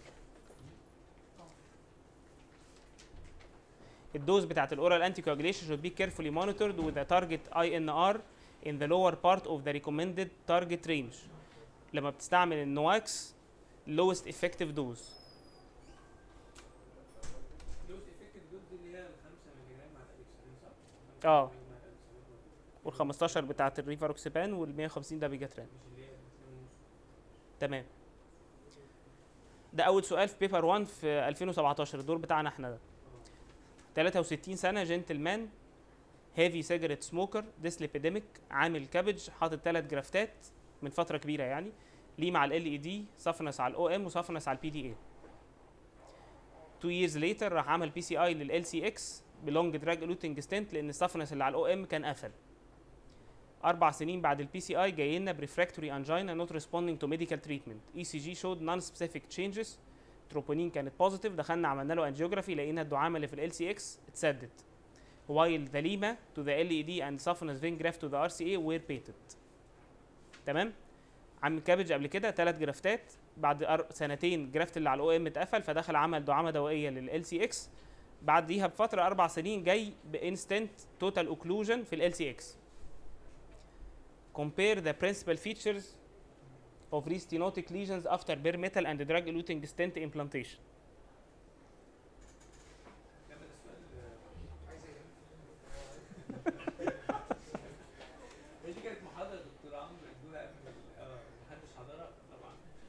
طبعا. أنا حاطط السؤال ده عشان تشوفوا إجابته وتحضروه. يعني أنا عن نفسي ده أول سؤال في أول ورقة في الدكتوراه. أو فده أنا سبته بصراحة. ما حلتوش. بعد ما طلع إحنا لازم بنتعلم من الحاجات دي. لا لقينا ده في ده في جداول وفي محاضرات اتعملت ومقارنات على ال restenotic lesions في ال bare metal وال drug سواء كان grossly أو بال IVUS. تمام؟ فرقت في ال feature فرقت في مكان ال restenosis فرقت في ال degree of restenosis حاجات كتير. فده حضروه لأن هو محاضرة طويلة لوحدها. features of restenotic lesions بال bare metal وال drug. ماشي. Discuss the pros and cons of the different interventional strategies that are appropriate to this gentleman. إيه الحاجات اللي ممكن نعملها للعيان ده؟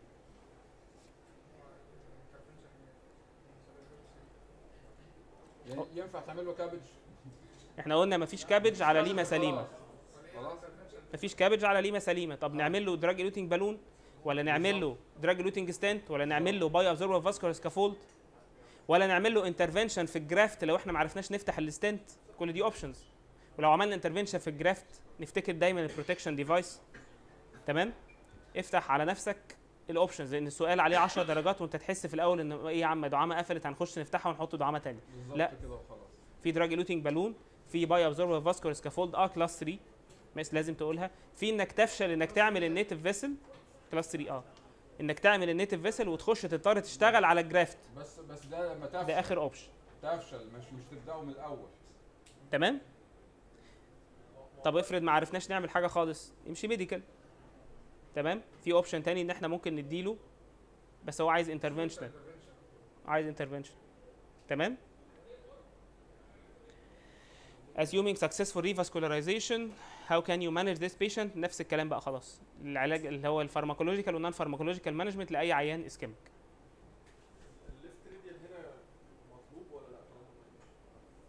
بمعنى إيه؟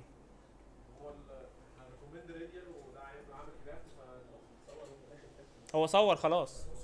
هو مش بيسألك أي أسئلة قبل ما يصور هو ال left radial أحسن لو أنت لسه عايز شوف ال LIMA بقى. تشوف الليمة أو هتعمل intervention على ال LIMA. يبقى احسن لك تخش من ال left radial طيب 47 سنة patient underwent mechanical mitral and aortic valve prosthetic replacement two years ago مغير double valves من سنتين presented to the ER with acute chest pain ECG showed atrial fibrillation with ST segment elevation في anterior leads he was offered primary PCI 47 سنة مغير ال mitral والأورطة جاي ب anterior STEMI بنعمل له ECG لقيناه AF كمان. مش فارقة هو كده كده مغير ال valves وهيخش يعمل primary PCI what are the peri procedural precautions that should be carried out? نفس القصة برضه ما ينفعش تديش strept ال loading بتاع ال anticoagulation خلاص إحنا قلنا primary PCI he was offered انت دايما تبتدي إجابتك من الحتة اللي وقف عندها السؤال. بالظبط مش هتقول streptokinase بقى خلاص انت بتتكلم. ماشي؟ ابتدي اجابتك من الحته اللي وقف عندها السؤال. ده انت خلاص هتخش تعمل primary PCI بيقول لك تدي له إيه peri procedure precautions عايزك تتكلم على ال loading antiplatelets aspirin هتدي كلوبيدوجريل ولا ticagrelor ده STEMI هتدي tica ولا prasu ولا كلوبيدوجريل كي دي ما ينفعش ندي غير كلوبيدوجريل لأن العيان ده ماشي على anticoagulant وهتمشي على vitamin K ده ده ده valve replacement مش ما فيهاش نوع تمام. مفيش بالظبط مفيش option لل NOACs هنسحب INR للعيان قبل ما ندخل. كده كده هندي anticoagulation للعيان. هنشتغل radial لو احتاج stent هنحط drug eluting stent الحاجات دي كلها السؤال عليه 15 درجة. كل كلمة لو كتبت الكلمة ومشيت درجة درجة درجة درجة درجة. بالظبط كده جمعت. من غير رغي. آه. تمام؟ statins ماشي؟ what's your advice for long term management ال triple therapy العادي. triple therapy العادي. بس هنا ما ينفعش NOACs لازم تأكد دايما هنا إن العيان ده ما ينفعش يمشي على. ده, ده لازم يمشي على فيتامين نعم؟ ولا tica ولا prasugrel يبقى ال access وال stent وال medications وبقية الحاجات اللي هي ال non pharmacological وال rehabilitation ما تنسوش دايما ال rehabilitation ال monitoring بتاع بتاع ال vitamin K بقى إنك أنت. تدي target INR، INR. ما ترجع ما تعلاش بال target INR بتاعك. أو خلاص وال TTR إنك أنت ت- يبقى م- يعني شغال 65% 65% على الأقل. آه. ماشي. إحنا قربنا نخلص خلاص إن شاء الله. آه 72 سنة male diabetic hypertensive AF. ثواني يا شباب.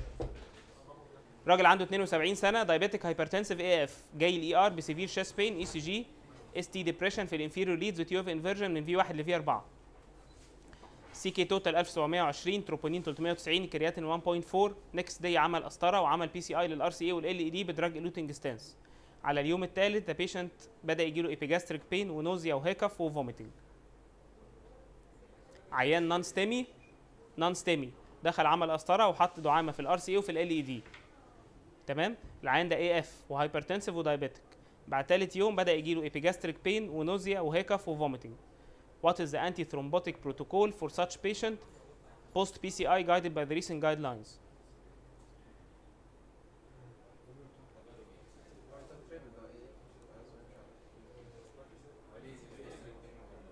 ما هو هيجي سؤال بعد كده. ما هو بيسألك على حتة معينة. إيه ال anti-thrombotic protocol بتاعك للعيان ده؟ لازم تحط ال risks دي دايما. تمام؟ Assessment of the bleeding and ischemic risk of the patient using score كذا and كذا and كذا this patient has an indication for oral anticoagulation as he has a permanent AF so triple therapy will be started وتكمل بالظبط وال triple therapy دي يفضل فيها ال- ال NOACs هنا بقى مش ما عندناش بقى indication هنا لل vitamin K antagonist NOACs بال least effective dose عندنا جرعة من rivaroxaban ممكن تبقى 15 عندنا الجرعات الثانية كذا وكذا وكذا. لو هنستعمل vitamin K antagonist تبقى في ال INR بتاعنا كذا ال TTR بتاعنا 65 ل 70 ماشي؟ أيوه ماشي. ما انت ما هو دايما طالما هنتكلم triple therapy لازم نحمي bleeding risk هو دي الحاجة اللي بيحطوها دايما عشان يزودوا bleeding. risk يحط لك آه. الكرياتينين عالي شوية. بالظبط. Possible causes of his post coronary angiography symptoms. Gastric pain nausea زغطه و vomiting نعم حصلت مشكله في إيه؟ أنا رايي دول الحاجتين المهمين انك لازم ت exclude ان العيان ده دخل في ischemia تاني أو جاله gastritis أو peptic ulcer أو جاله CIN ماشي What is the treatment plan on discharge and long term management إحنا تقريبا قلناه شكرا شكرا لكم اعلنت انت انت وشريف الطوخي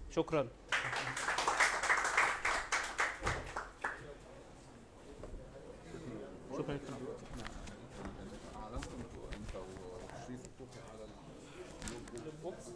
ماجستير. آه. هو مستوى نزلت ولا الاتش بس هو غالبا منسق على في الغالب هو حط ايتمز يعني مش مش معتاده يعني لكن أنا بقى هبقى راجع مع طب وبالنسبه للدكتوراه votación.